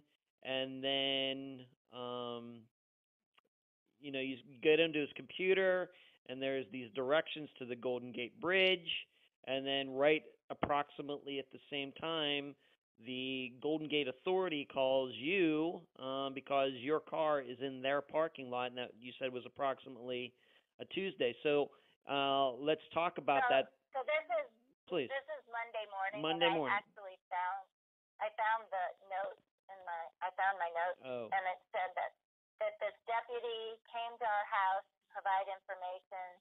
They were contacted about the car at at the Golden Gate Bridge. Okay. Also, they were waiting for the San Francisco authorities to call us. The Honda was found with the passenger reading light on and the right rear reading light on. The battery was dead. So um, I have in parentheses the light could have been on since he drove the car on Friday night, um, or he went back to the car at night. Like he left the car right. in the parking lot and then went back to it at Okay. night. Or it could have been from Friday night when he went out with his friends because it was the same night, uh, the same car. Although if it had been on when he went out with his friends, it you would think it might have been battery dead on Saturday, but it wasn't. Okay. You know, it's interesting you uh, Uh, say that. I don't, you know, a, a, a reading light or something in a car. I just wonder if it would drain a battery. You know, that doesn't use up a, you know, and uh, of course a car battery is very heavy duty. Some light like that, you know, how long would it take to wear a battery out? That's very interesting to me. But so the battery was dead in the car. Yeah, the battery was dead and there were two Okay. reading lights on, one in the front and one in the back. Okay. Um, anything else unusual? Those those sounds like unusual things to me, but maybe not. Like you said, there might be a perfectly logical explanation explanation for those uh, lights being on. Anything else though that comes to mind that was unusual about the car? Um, he left his phone and his wallet in the car. Okay. He left, um, and I, so I, he might have had. So back then, your phone didn't have music. Um, so I Right. think he might have also had something like an iPod or something. Okay. Sure. Yes. In So the days he- he before basically- Spotify. and- yes. So he was very into music. So if he were going to go somewhere for a while, he would he, he would take his iPod with him so he had music with him. So he and he also so you know when you get a parking ticket um for a for a parking lot, the change comes out as quarters. So he had gotten a bunch of quarters from the cha- from the parking. So they have him on tape going to get a a parking ticket, um, putting it on the dash, and he also put all the change from the um, machine in the car. So he literally had no money with him when he left the car When he left the car.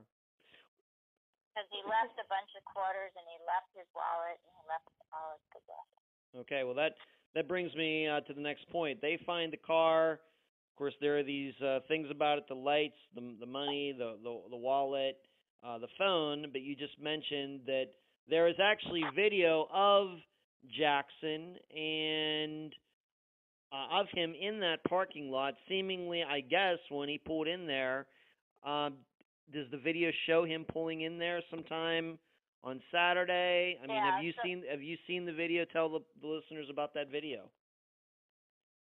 No, so they wouldn't let us see the video. They this wouldn't. is what I wrote in my notes. Okay. Notes, which is probably more accurate than anything. Okay. So we talked to this officer, which is the the only people at the bridge that they let you talk to is the CHP guy, the Mhm. California Highway Patrol. They won't let you talk to you know any any other official at all Yeah.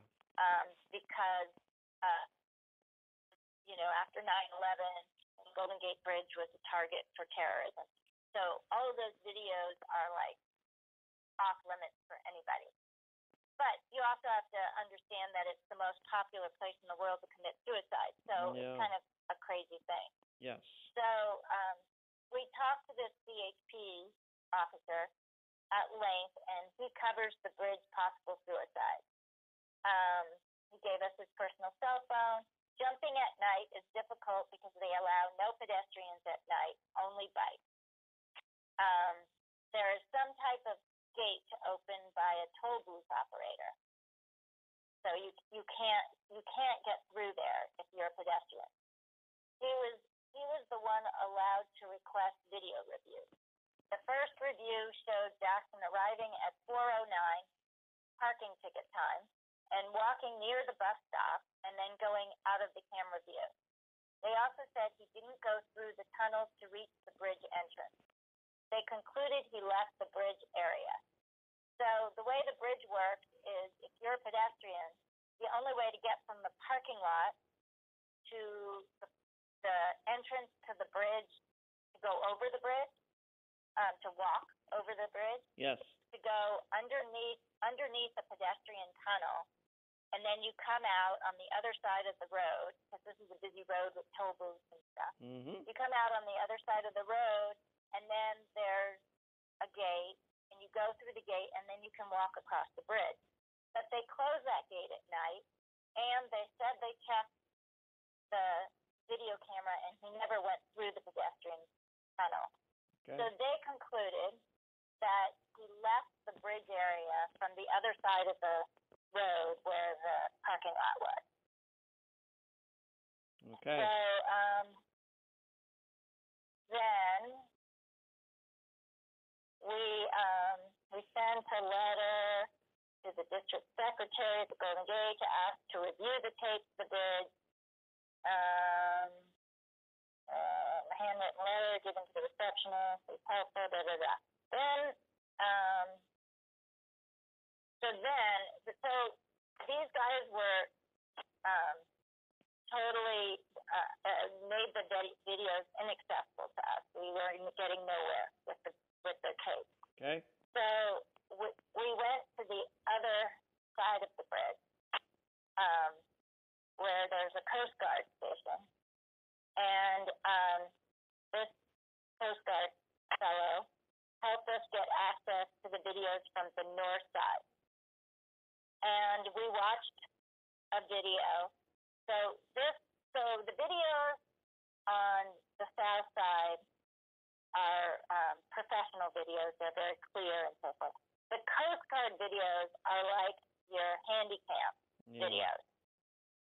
Super bad um, resolution.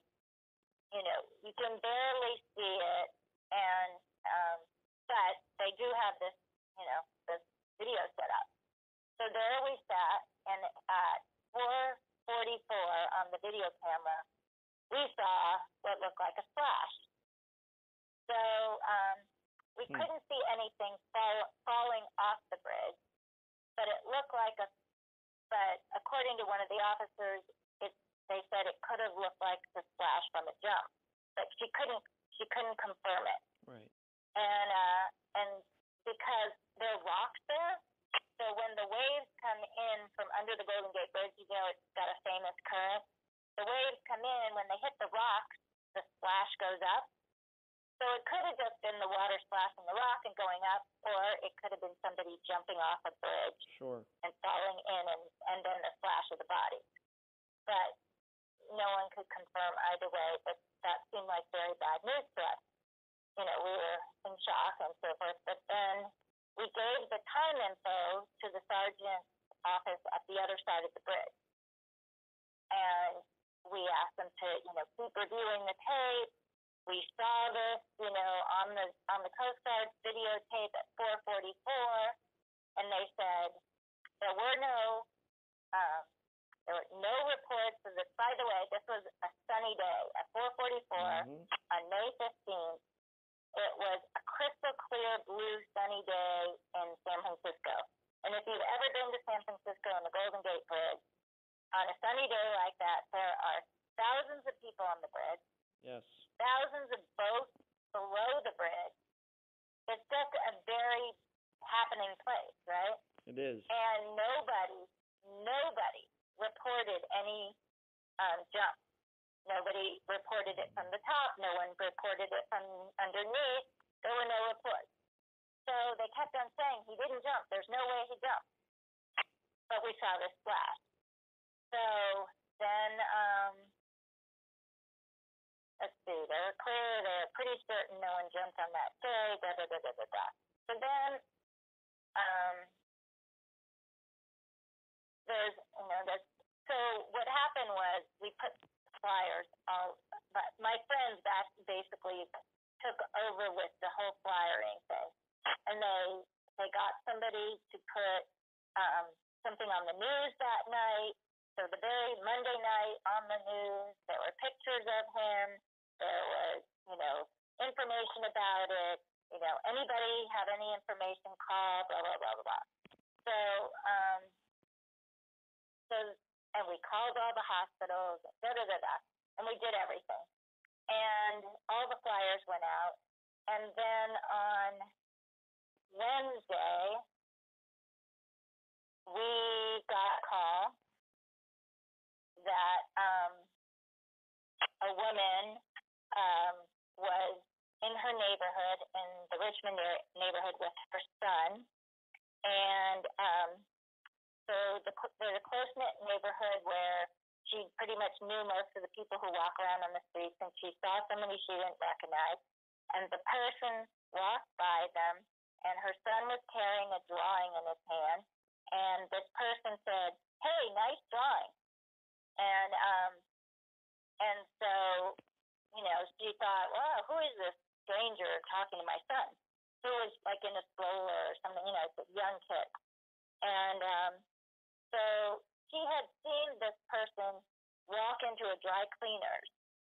And so she went into the dry cleaners and she said, Do you know who that guy is? And, and the dry cleaners man said, No, no, he just came in and uh, he asked me to touch his back. And I said, Why? Why touch your back? And uh, he, he said, Just touch my back. So he touched Justin's back and he you know, and he said thank you and he left. And then he went by the kid. So the woman said, Well, this is too weird, I'm calling the police. So he called the police and unfortunately the police came an hour and a half later Yeah. From like a block away.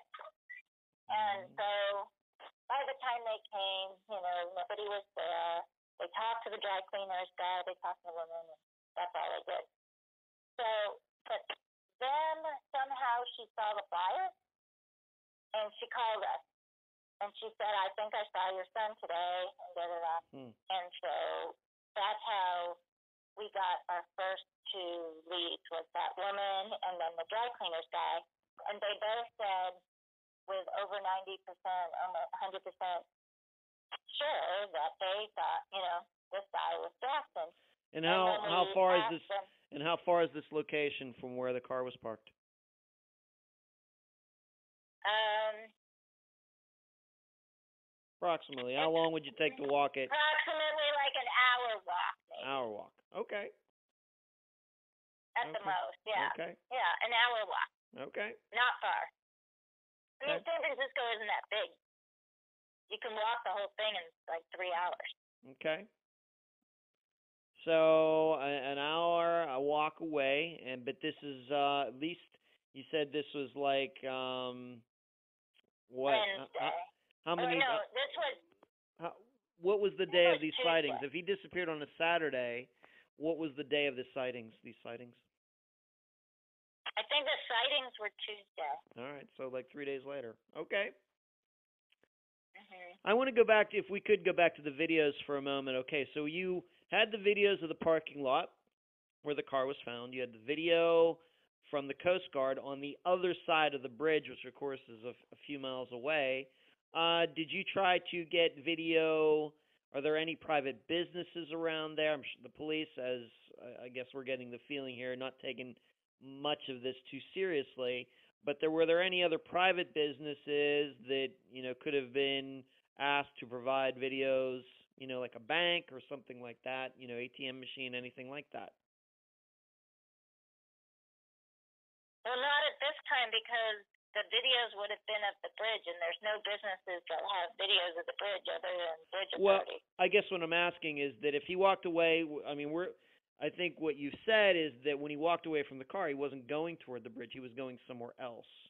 And so, if he was seen then a few days later, and these sightings are true, uh, did did you, you know, try to get videos from any of those other businesses in the area to see if that actually was Jackson? Oh, so once we got once we got those two first um, tips, uh, uh, we I went to every single business on that street, Okay. up and down, and I stopped at every single business. I I showed them photos. I asked them, uh, did they ever see this person, and blah blah blah blah. And I asked them about videos and so forth, and yeah.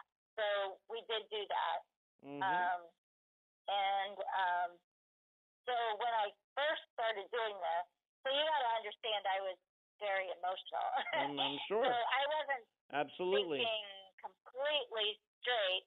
Um, this should have been something that these detectives were doing, but they did Mm, zero. Nothing. So course. you know, all of a sudden, I needed my crash course in detective Yes. work. Yes. Um, so, but I did go to every single place, and I found, I think, two other places that thought they had seen Jackson.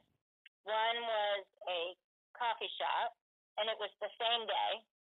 And uh, this woman said that he came in there and the most amazing thing was that, like, I would ask what what was he wearing, and they would say he was wearing like these long khaki shorts, you know, and, and it was kind of an unusual outfit, right?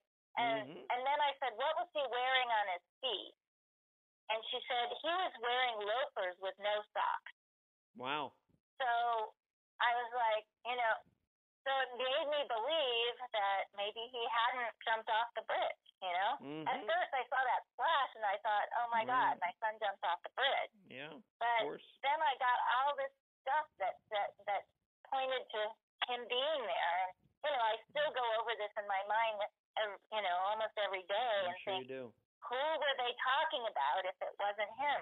You know, it's hard to imagine. But they did, you know, so they described him to a T. It was this coffee shop. He came in and he he asked for a glass of water, and so my son um, drinks water. He's not a coffee drinker, so he went into a coffee shop and asked for a glass of water. So I mean, it, the, what she was saying, you know, voluntarily sounded like him. And um and then there was like a bowl of fruit. You know how coffee shops will have bananas you can buy? And um he said do you by chance have like a rotten banana or something that you don't um need you know that you can't sell? Um because he said he was hungry and um and she said you know sure have this banana. She gave him a banana. And then um he he was leaning over and like looking at some scratch or bite or um itchy thing on his calf. And she said and she was kind of making small talk with him trying to figure him out. And she said what happened to your leg? And he said oh i got a spider bite or something and then he said something strange like but they're not going to get me, something like that. But I, you know, And she said, "Well, you know, you those can be really dangerous. You should have them looked at. Look, have it looked at. You know, maybe you should go, you know, to the um, urgent care and have it Yeah. looked at because spider bites can be dangerous." And I think she just kind of wanted to talk to him and make sure he was okay and that kind of thing. And Mm. and that's when he said, "No, no, no. I, you know, I'm not going to let them get me or, you know, something like that or it's not they can't hurt me or something to that effect." Mhm. And then he thanked her and left after having water and banana. So that was one place. And then the other place was like a gas station or something. And we went in there and this guy thought that um Jackson had come in oh, at the dry cleaners, uh he Jackson was mumbling under his breath, no smoking, no smoking. So um, that's what he was mumbling either when he was coming in or going out. So at this gas station, he there was something about a girl. He was like buying cigarettes for a girl, or he was with a girl, and one of them wanted cigarettes. Something about buying cigarettes, and there was some sort of a girl with him. And this guy thought that he looked like Jackson. Hmm. So that was that was the fourth place on that street. But this coffee shop and not and this uh gas station, they didn't have video that could prove these things. I'm not trying to be No. yeah, uh, you know, I just Uh-uh. no, nothing like that. Okay. Okay. All right. Uh being that they seem to some of these people seem to get what he was wearing uh, correct, is there any way that they could uh, you know because as I'm sure you know by now, Gina, a lot of um, eyewitness accounts of missing people are not true. That's that's what the statistics say. Is there any way these people, you know, might have seen something or you know seen a news story or seen a flyer and known what he was wearing, and instead of them knowing, you know, what he was wearing, you know, independently? You know what I'm saying? You sure. know, I mean, any anything's possible except for those first three people hadn't seen the hadn't seen anything about the news until after hmm they, you know, yeah, till afterwards. Especially the woman at the coffee shop didn't know anything about it. Okay. I guess when that's I- what I'm saying is went in there. is that you know they said about his shoes, the loafers with the no socks. There, that that piece of information was not out in the public yet. When you talk to these people, Mm, well, I not. I don't think that it was out there. Bef- I don't think those people saw that before Okay. they talked to me. okay, Um, but I did. I did put that the picture of the shoes on the flyer that I eventually put up. mhm. I all I'm trying to do is I'm trying to make but sure that these that people. person that I talked to in the cafe had not seen the flyer. Okay, I Okay. asked, you know, have you seen the flyer of this missing person? And she said no. okay. Uh, all I'm trying to get it. Uh, I'm just trying my pers. Me personally, I'm trying to get a good handle. You know, or you know, did these people just see something from the flyer? You know, and there was, or is this, you know, was a real sighting of somebody with really those shoes on? Is what I'm trying to say. hmm You know, that's that's all. That's all I'm trying to, you know, trying to determine that, you know, that would certainly be something, being that he was wearing unique shoes, and then they tell you this, you know, the guy that they ran into was also, you know, no socks with unique shoes. Of course, that would be, you know, something, you know, would be a considerable lead. Uh, I'm just trying to make sure that they weren't, they didn't see the flyer, and then some guy came in there, eh, you know. No, Mm. so this woman had not seen the flyer, and Okay. I, I I made it a point to ask open-ended questions like, what was he wearing? Okay. And I and then I said, and then when she said there was he had this thing on his calf, I said, oh, so Mm. did you happen to notice what he was wearing on his feet? And then she said, actually, I did because it was unusual that he was wearing no socks with these loafers. Okay. And I said, oh, Okay. really? And that, so that's like, all of a sudden I was like, wow, this woman, you know, sounds like she saw him. Okay. All right, so we have the the video of him walking away from the car. We have these sightings of him seem promising. Um his phone was left behind in the car after he left uh your house in your car and drove to uh San Francisco that day. Did he make any calls? Did he make any texts? Did he use his phone for any No. reason? No. None. Okay. Okay, so he was driving. He did that entire drive, not talking to anybody. Didn't call any of his friends. They didn't try calling him. He didn't text anybody. It was just him driving and the phone, um, being you know being with him. Um, anything, you know, in 2010, of course, smartphones had already come out. iPhones were out. Uh, anything, any searches that he could have done on his phone that that you looked at once you got his phone? Anything unusual about his phone at all? No, he, he, there weren't any smartphones. He had a flip phone. Oh, did he? Oh, he had a flip phone. Okay. Yeah. Okay. Yeah, he just had a little flip phone with um All right. that's why I knew all all of the numbers because Right. they basic he basically had like one through ten options of contacts to put in and that was about it. Okay. All right. So he had a flip phone uh, at that time. Uh, of course, iPhones came out in 2007. Android phones not long after that, but he in 2010 still had a flip phone. Okay. Um. So you were you were there. You're talking to these people, putting these flyers up. I mean, how long did you stay in that area doing this?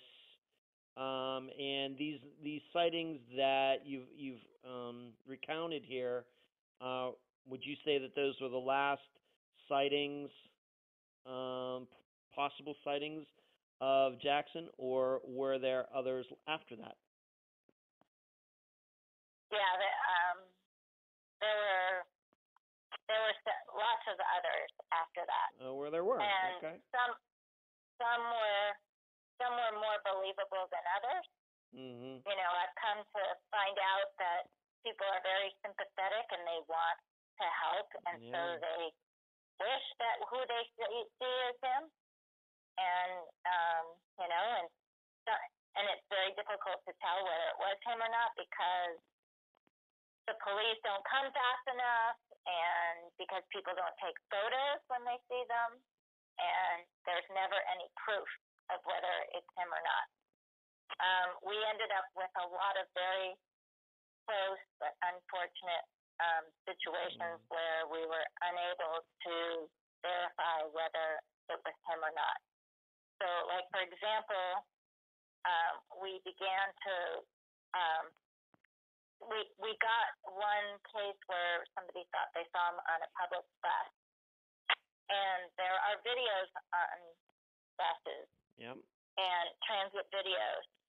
And um, we found the person who's in charge of the videos, and she was extremely difficult, and she refused to get the information. And then we got a private investigator who could request the the videos, and she made us jump through a million hoops. And in the meantime, we we're like, we're running out of time. These videos get get taped over and da da da da. And then finally, she got what we wanted. And then we kept getting. So once we found one, we went on all the buses and asked every single bus driver. We went to the bus driving terminal where all the bus drivers left. We asked. We showed pictures to every bus driver in San Francisco.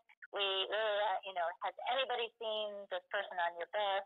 And we ended up getting three instances of people, including a bus driver, uh, two bus drivers, and we ended up having exact time, exact bus numbers, and then she ended up messing up every single one. She got PM instead of AM. She got the wrong bus.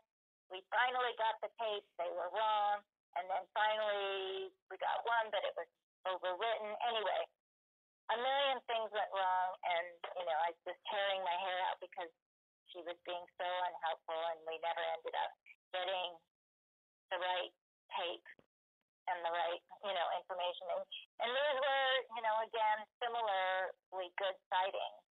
Yeah. Those in particular were good, and they were good mostly because there was video, and we would have been able to prove it it was him or not. Yeah. But we never, Uh, we, we never succeeded. Absolutely true.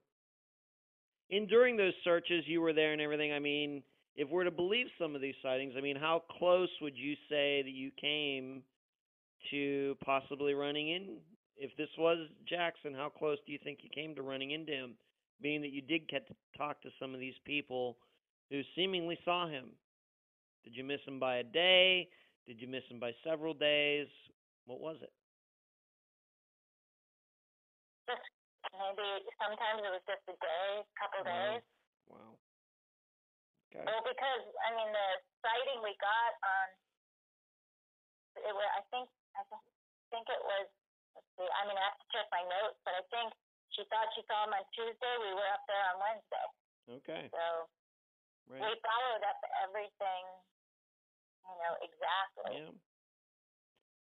Uh, did you go to any? Did you end up going to any homeless camps or anything like that? Um, to to check we them. yeah we so we got um so we got giant search teams together there was a a religious group that got um 75 people one day 75 people the next day you know and we made maps of the city and we combed you know the whole city putting flyers up talking to everybody and um what was the question? Oh, the homeless camp. Mhm. We we we combed the Golden Gate Park. Um, I spent a lot of time in Golden Gate Park. You know, everybody in the who has a missing person or no, finds out you have a missing person, they go, "Well, did you try Golden Gate Park?" Yeah. So we- we looked all, you know, because there's Hippie Hill and there's this part right in Haight Ashbury, and there's a lot of young people who hang out smoking pot. So it seemed like, you know, a logical place to look. I got to know all of the regulars over there. Some were helpful, some were not. But um, we, we, yeah, we combed all of those areas. Another big area that we checked a lot and we got sightings from is um, there's Market Street and there's an area that's kind of part of the Tenderloin where there's a um, like a methadone clinic and there's a lot of homeless people and there's a lot of um, you know kind of street drugs being sold and a lot of homeless and hanging out and so forth and shoppers and so you know, we spent a lot of time there. Um, we I talked to a lot of street people. Some were super helpful. Um, you know, some gave me some insight to what it was like being on the street. One guy ended up calling me and said that he had he had just gone to like a a Goodwill store or something and saw the flyer and he thought that he had spent the evening with Jackson the night before.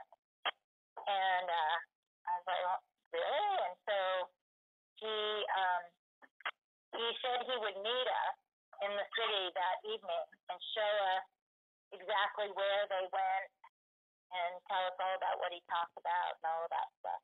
Mhm. So we so I went with my husband and another couple and the neighbors across the street, the Jackson's best friend's parents. So the the four of us went up there, you know, just not knowing what was going to happen. Sure. That um, so we met this fellow, really nice young guy who he said he was just kind of like a. There's a lot of people who just travel around, you know, and he's. I think he called himself a traveler or something, and uh, he showed us. Uh, he said that he met Jackson on the street, and Jackson was carrying some sort of a guitar that was missing strings, and uh, Jackson did play the guitar, and um, and so they and he showed us where they all walked. We walked all over the city, and he told us that um, Jackson was super paranoid, um, that people were following him, and so this Mhm. is very typical of people who are sleep deprived. yeah. And he said he said he was really he said he told this fellow he was very good at hiding and very and that he never stayed in a spot for like more than an hour. And this fellow was telling us how dangerous it was sleeping on the street and that the night before uh he was sleeping and somebody took all of his stuff and injured him some way, I forget how. So he had gone to urgent care and um and then and that's how he he and then he went to this goodwill place and that's how he saw the fire. And he said that Jackson was super nice to him and he was the first nice person he had met on the street. And that um that the reason he felt like he Jackson felt like he was surviving was because he kept moving, which meant he was never sleeping. And that um he was really worried because someone gave him some marijuana, some pot, and he was afraid that they put some uh, meth in it. And there was a meth epidemic going on in San Francisco at the time. And Jackson was always scared to death of meth. And he told this guy, you know, that he hated meth and he was he, that there were these people following him trying to get him hooked on meth. And I looked into this, and it turns out that that was actually a thing. That people, that these young people, that some people were trying to get others hooked on meth in San Francisco at that time. Hmm. And I found, you know, when I researched it, I found that out after this boy had told me this, and that he was kind of, um, so I don't know if this, you know, this. So a mm-hmm. lot of the things that people told me, I I believed or didn't believe based on how reliable I thought the person seemed. Like the woman who owned the cafe, I went back and talked to her a ton of times, and I found her very reliable. This guy, who knows? You know, right. I really Did well this guy that you this young guy that you talked to did he ever say what happened to you know so he saw Jackson and then Jackson wasn't around I mean you know where did he say Jackson could have gone did he say, Um. did he say Oh, so the frustrating thing was we asked him like what he talked about, and we asked him all these questions to try and see if there was anything specific that could yeah indicate that it was him. Like, did he talk about his sister, or where he was from, or you know, what his job was, you know, anything, anything that would identify him, what his name was, blah blah blah. And he couldn't give us anything that was for sure Jackson. yeah He gave us a few things that sounded like Jackson. And uh, if I look through my notes, I could probably find it. But there wasn't anything like he never said the name of his sister or the name of his dog or. And he said, we said, well, what did you guys talk about? And he said, well, he basically we just talked about like the day-to-day things that was going on on the street. You know, like he had been here and he had been there. These guys did this to him, and he's afraid these guys are following him. We're talking about the day to day, and he and they never talked about their histories to each other. Hmm.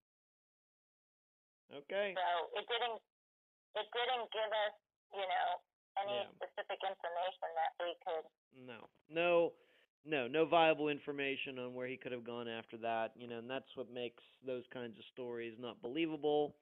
Uh, I have to agree with you. If if any of these sightings was Jackson, I think you'd be more inclined to believe the the mother, uh, you know, and the and the dry cleaner people more than anybody else. Um. Okay, so we have these stories. Maybe Jackson, maybe not. He's hanging. It seems around in the in the the San Francisco area. There's no signs that uh, he ever did walk onto the bridge. I mean, in fact, he went in the opposite direction.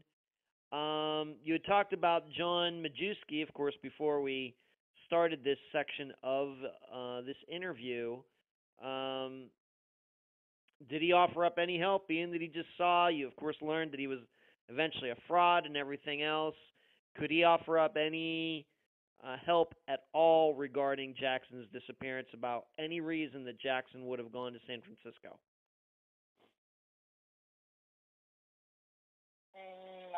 No. None. Did is uh, he was friends with Jackson? Did he try to help search for him at all? No. Okay. All right. And uh, does John Majewski live anywhere near San Francisco? Now? Uh, no, at the time. I don't. I, Any at the time. mm, no, I think he. I think he lived near Cupertino or in Cupertino, something somewhere Okay. around there. All right, and we have to remember that with this video from the parking lot, that Jackson was by himself.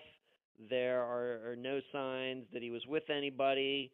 However, um, considering going back to the video for a moment, is there a chance that you know there's this video of him leaving the car, but there's never been any video located that he ever came back to the car?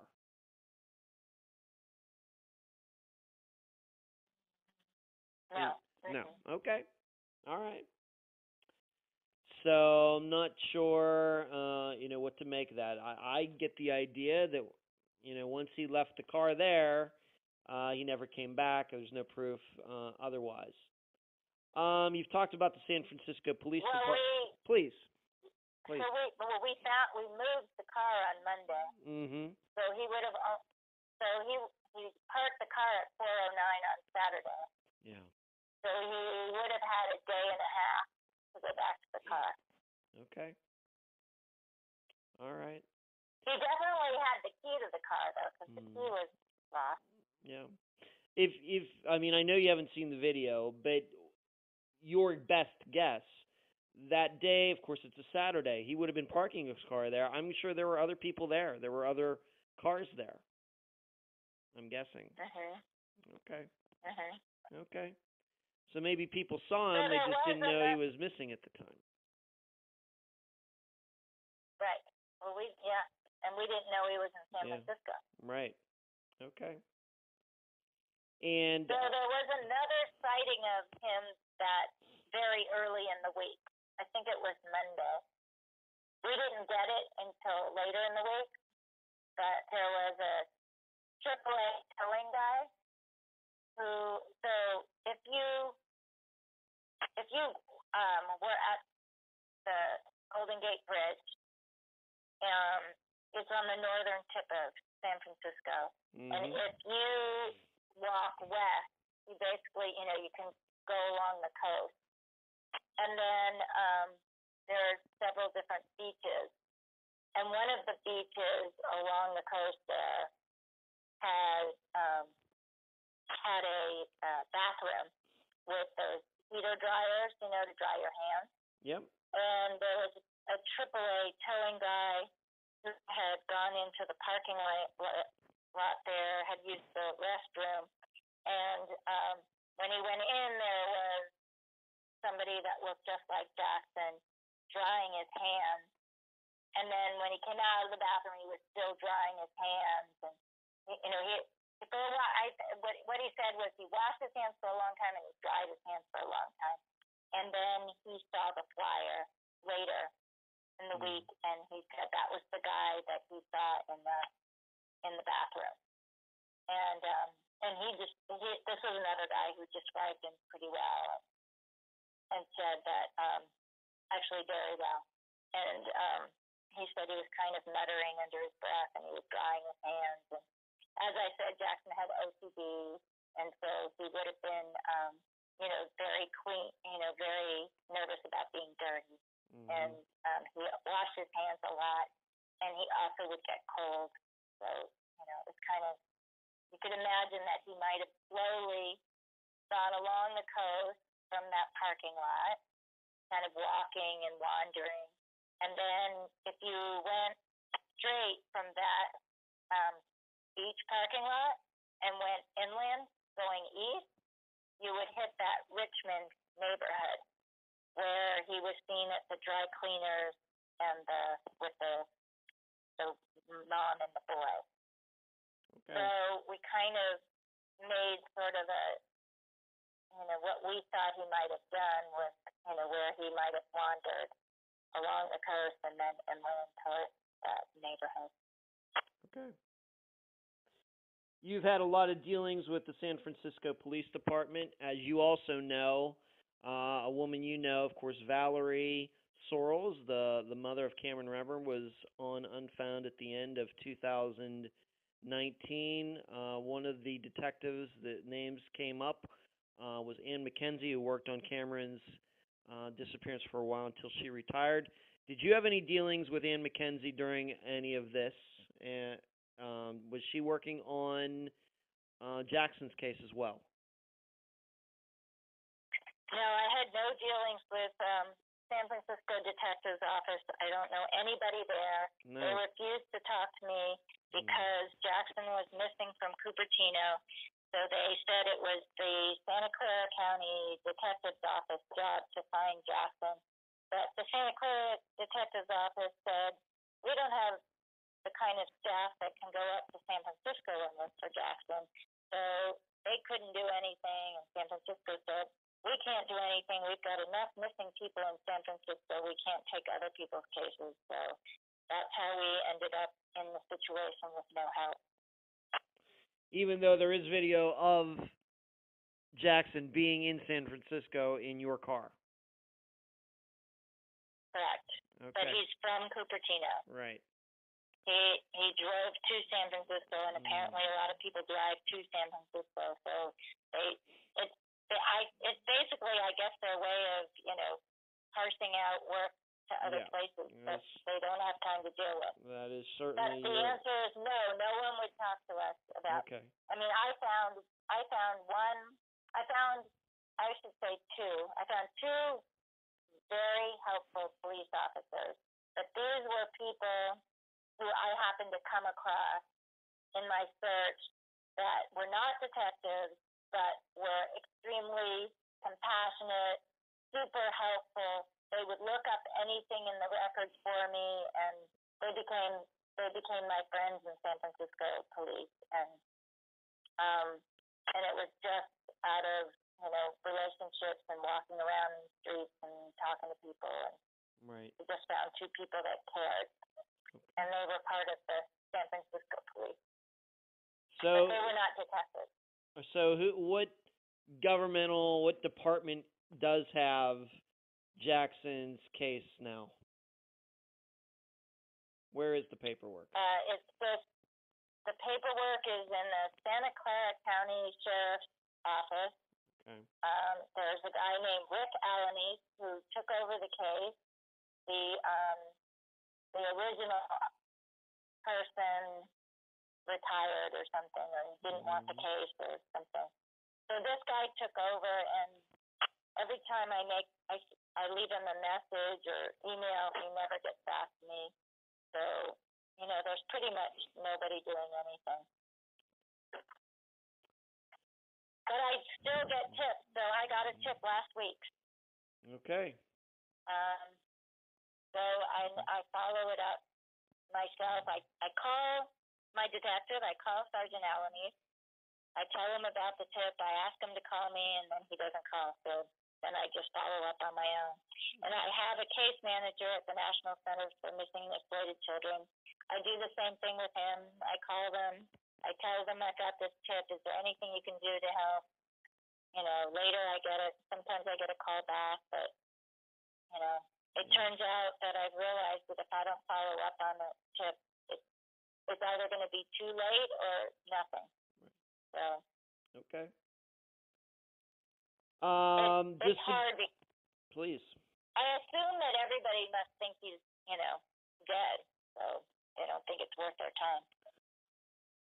Uh, that um, that does happen. There's nothing that I see, uh, and, and with 160 cases of experience, uh, there's nothing that I see that would lead me to believe that Jackson is dead. I, and my listeners know that I am always honest about these types of things with the guests.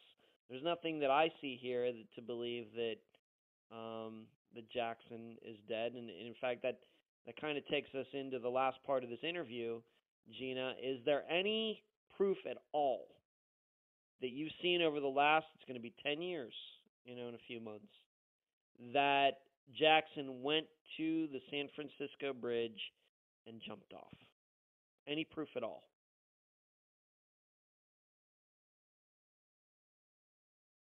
I would say the only proof I have is that he hasn't Mm. called me Mm-hmm. because I know that you know he loved his family. He's empathetic. He's you know, and he's not an independent person. Um, you know, if you ask any of his friends, they would probably say he couldn't live on his own. You know, at that time. You know that you know he just was you know didn't have the. I mean, there's some kids who you know have been out in the wilderness and they you know they're good at that kind of stuff. They like camping out. That wasn't Jackson. He loved the comforts of home. He loved the comforts of his bed. You know, he he was an intellectual and a musician and a you know and he loved his computer and that kind of thing. But Yeah. you know, he just so my biggest you know the the thing that makes me think he's gone is that he hasn't contacted us, and so where else could he be? Right. If he were out there, I think he would contact us. So the last tip I got last week was somebody who's who's seen his picture over the ten years, and she's a very good friend of my best friend, and um, she happened to be with that friend when she said, "Have they has Gina found her son yet?" Because I think I just saw him, and he was in San Mateo, which is kind of halfway between San Francisco and Cupertino, in a parking lot driving a black BMW. So I thought, you know, if he was able to, he was with a girl, even if he was with a girl who could afford a black BMW, he would have called me. you know, I was Mhm. like, how could that possibly be? How, you know, Yeah. it didn't, it didn't add up. But Yeah. we, we're still working on it. There's videotape at the parking lot. We're looking for the videotape. I've got this officer still working on it for some reason. You know, he hasn't done it yet. I bug him every day. You know, what about the videotape? But Okay. um, still working on it. But that would be something that would be so easy to figure out, you know. The first thing I asked them is the parking lot have a video camera? Can they get the license plate of this car? If you got the license plate, could you figure out who owns the car? You know, can we can you go talk to the person who owns the car? Can you find out if it's Jackson? You know, at least we could put it to bed. But um, there's the guy still looking for the video videotape. Have you? I know this would probably be very difficult for you to do, but I have to ask: Have you ever watched the documentary concerning that was made a few years before Jackson disappeared, concerning people who jump off the the Golden Gate Bridge and commit suicide? Have you ever watched that documentary? No, I can't. Okay, I'm sure you can't. Okay. Because I have, um, and you know what I think I learned from it is that 99.9% of the time, if somebody does go off the bridge, somebody who's on the bridge sees it. And uh, because, once again, as you've already stated, the bridge is only open during the day, um, uh, people can't go out there at night and it is a tourist spot. There's always people walking around. Um, you know, especially when it gets to be May, June, the weather's going to be nicer. I'm inclined to believe that if Jackson had gone off, the bridge, somebody would have seen it. And obviously, that is not the case. That's not the situation. So that that's what leads me to believe that uh, he did not go off the bridge. That's what I think I learned from that documentary. Um, what has this been like? Uh, I know it's. I have to. I ask this question every time. I think that I have to in in my position. What has the last ten years been like, Gina?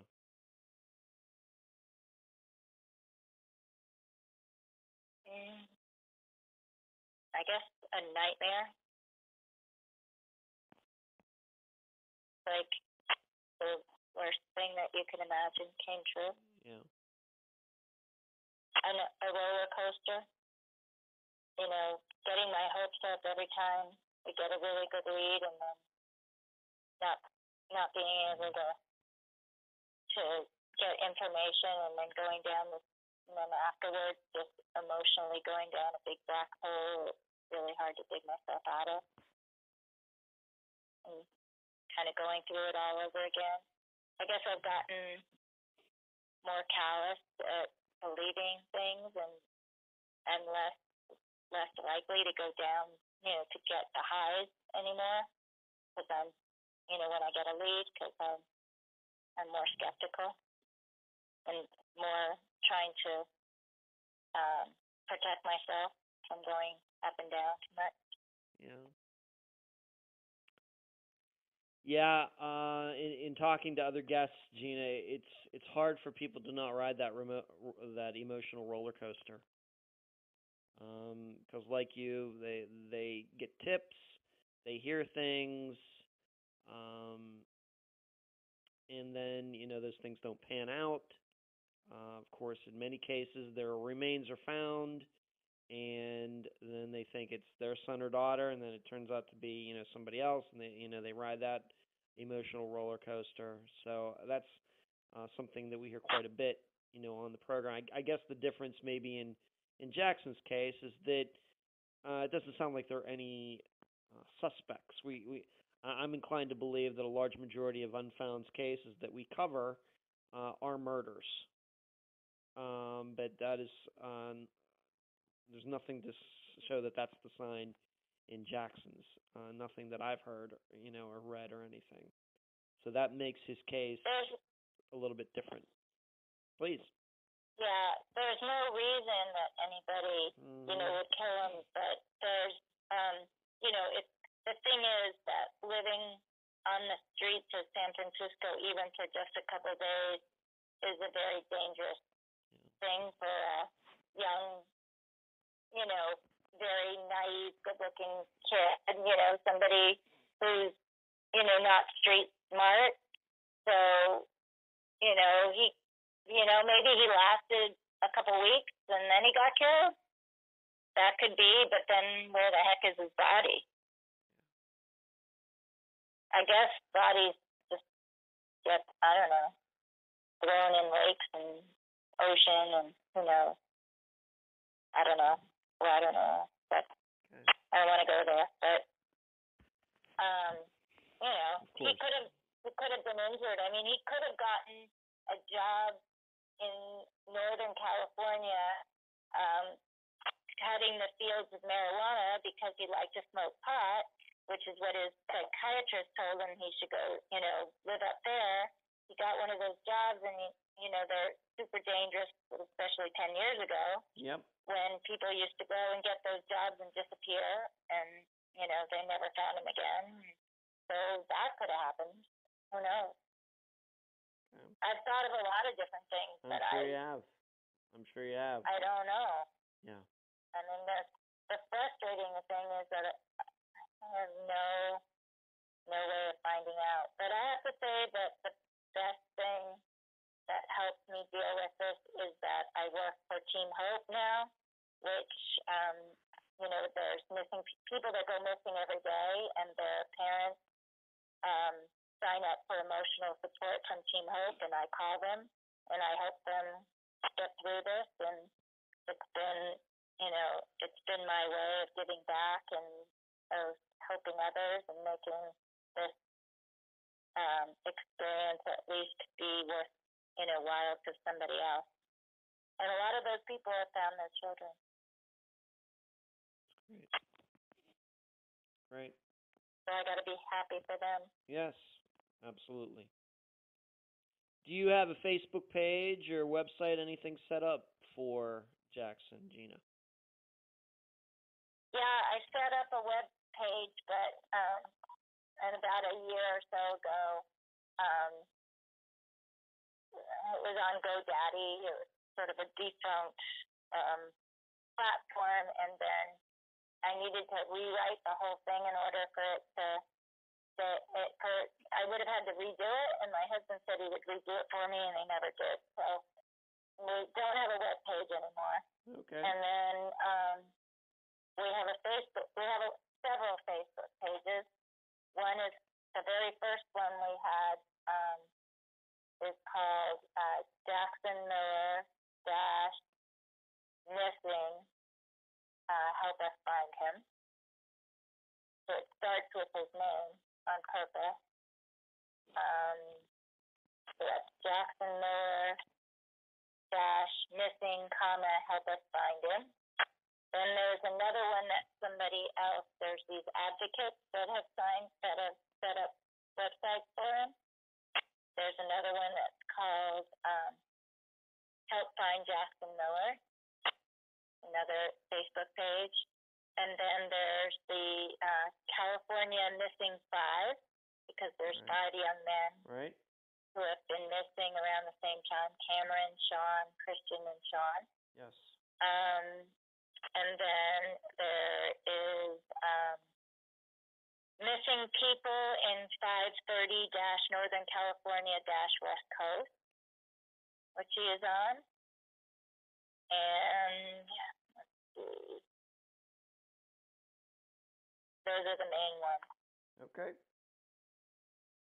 All right, and I will make There's sure that uh, before the listeners uh, hear us talking, uh, doing this interview, I'll make sure that I uh, link to them on the, our Facebook accounts uh, for Unfound. I'll make sure that that happens. Okay. there's another organization that I'm involved with called Text Witch, and um, this is a group of volunteers and a public group that go out and um, hand like lunches, bag lunches, and so forth to homeless people, and um, and while they're you know they're helping the homeless, they collect clothes and so forth, and then they get information. They ask them, "Have you seen these missing people?" And often they get tips from other, you know, from homeless people that they've seen these missing people, and they've actually found several people this way. So they go around with posters of Jackson, and I go and help them whenever they're up in this area, help them get out, you know, make sandwiches, get out food, clothing, stuff. Gina, any last words before we complete this interview? Mm. Just that I, you know, I still hope every day that Jackson is safe, that Jackson's healthy, and that he's, you know, got the strength and the courage to reach out to somebody. My only explanation for why he would be away is that, um, you know, because of his mental state of always having to be perfect and being very shameful of anything that, you know, he thinks other people wouldn't like, you know, especially his parents who he loves, that he's trying to get to a situation where he's more perfect before he reaches out to us. And so, you know, my hope is that some point, you know, he'll just decide that he's, you know, if he is safe and healthy, that it's, uh, you know, that it's okay to reach out to us. Gina, I appreciate you being on this episode of Unfound. Thanks for doing all of this. I really appreciate it. You're very welcome, Gina. And that was my interview with Gina Finaro, mother of Jackson Miller. I thank her for joining me and all of you on this episode. The interview was actually done in two parts, and maybe you could tell that due to the difference in the sound quality between the first half and the second half. The first half was the way I had been recording interviews, the second half was the new way, using the speakerphone. The second way will be how all interviews are done going forward. In the summary of the case at the beginning of this episode, I spoke about the documentary The Bridge. On Facebook, Twitter, and Instagram, I linked to it on YouTube in the lead up to this program, which played on January 17th, 2020. You can watch it for free. I definitely urge anyone who has not watched it yet to do so. I think it gives a very good idea of the mentality of those who eventually did jump from the Golden Gate Bridge. It also gives the perspective of the family members who explain what was going on in the person's life before he or she jumped.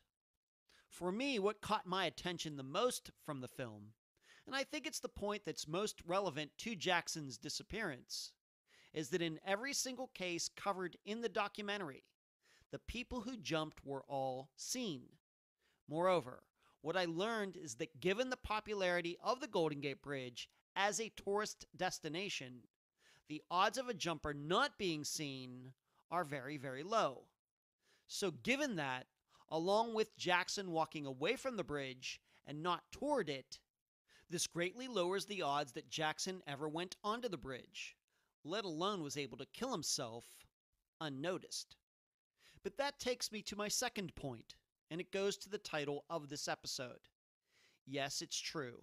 The Golden Gate Bridge is the site of many suicides. All very sad, all tragic. I'd like to think all these people could have been talked out of what they did had the right person been there at the right time. But maybe I'm hoping for too much. But what disgusts me is it's obvious to me that the San Francisco Police Department uses the bridge as the reason for way too many disappearances in that city. Why? Because that's easier than investigating the circumstances of each individual case. As an example, it's obvious to me that SFPD is more than happy to believe Cameron Remmer jumped off the bridge, despite what Unfound uncovered over the course of 2019. And I'm sure once we get deeper into Sean Sidi's, Christian Hughes's, and Chris Dickerson's disappearances, the other San Francisco five men, we'll find there is nothing showing that they jumped off the bridge either. But if you read between the lines, you can see the San Francisco Police Department wants the public to believe otherwise. And where the title for this episode comes from is I got to thinking how exactly far would the bridge have to be away from these disappearances before the San Fran Police Department stopped using the bridge as the reason for these young men not being found. 20 miles, 50 miles, 100 miles? I wonder. I'll leave the rest of the theorizing up to you. And that's the program. If you found it informative, please go to the app that you use to listen to Unfound and give this podcast a nice review. I thank you for listening. I'm Ed Dentzel, and you've been listening to Unfound.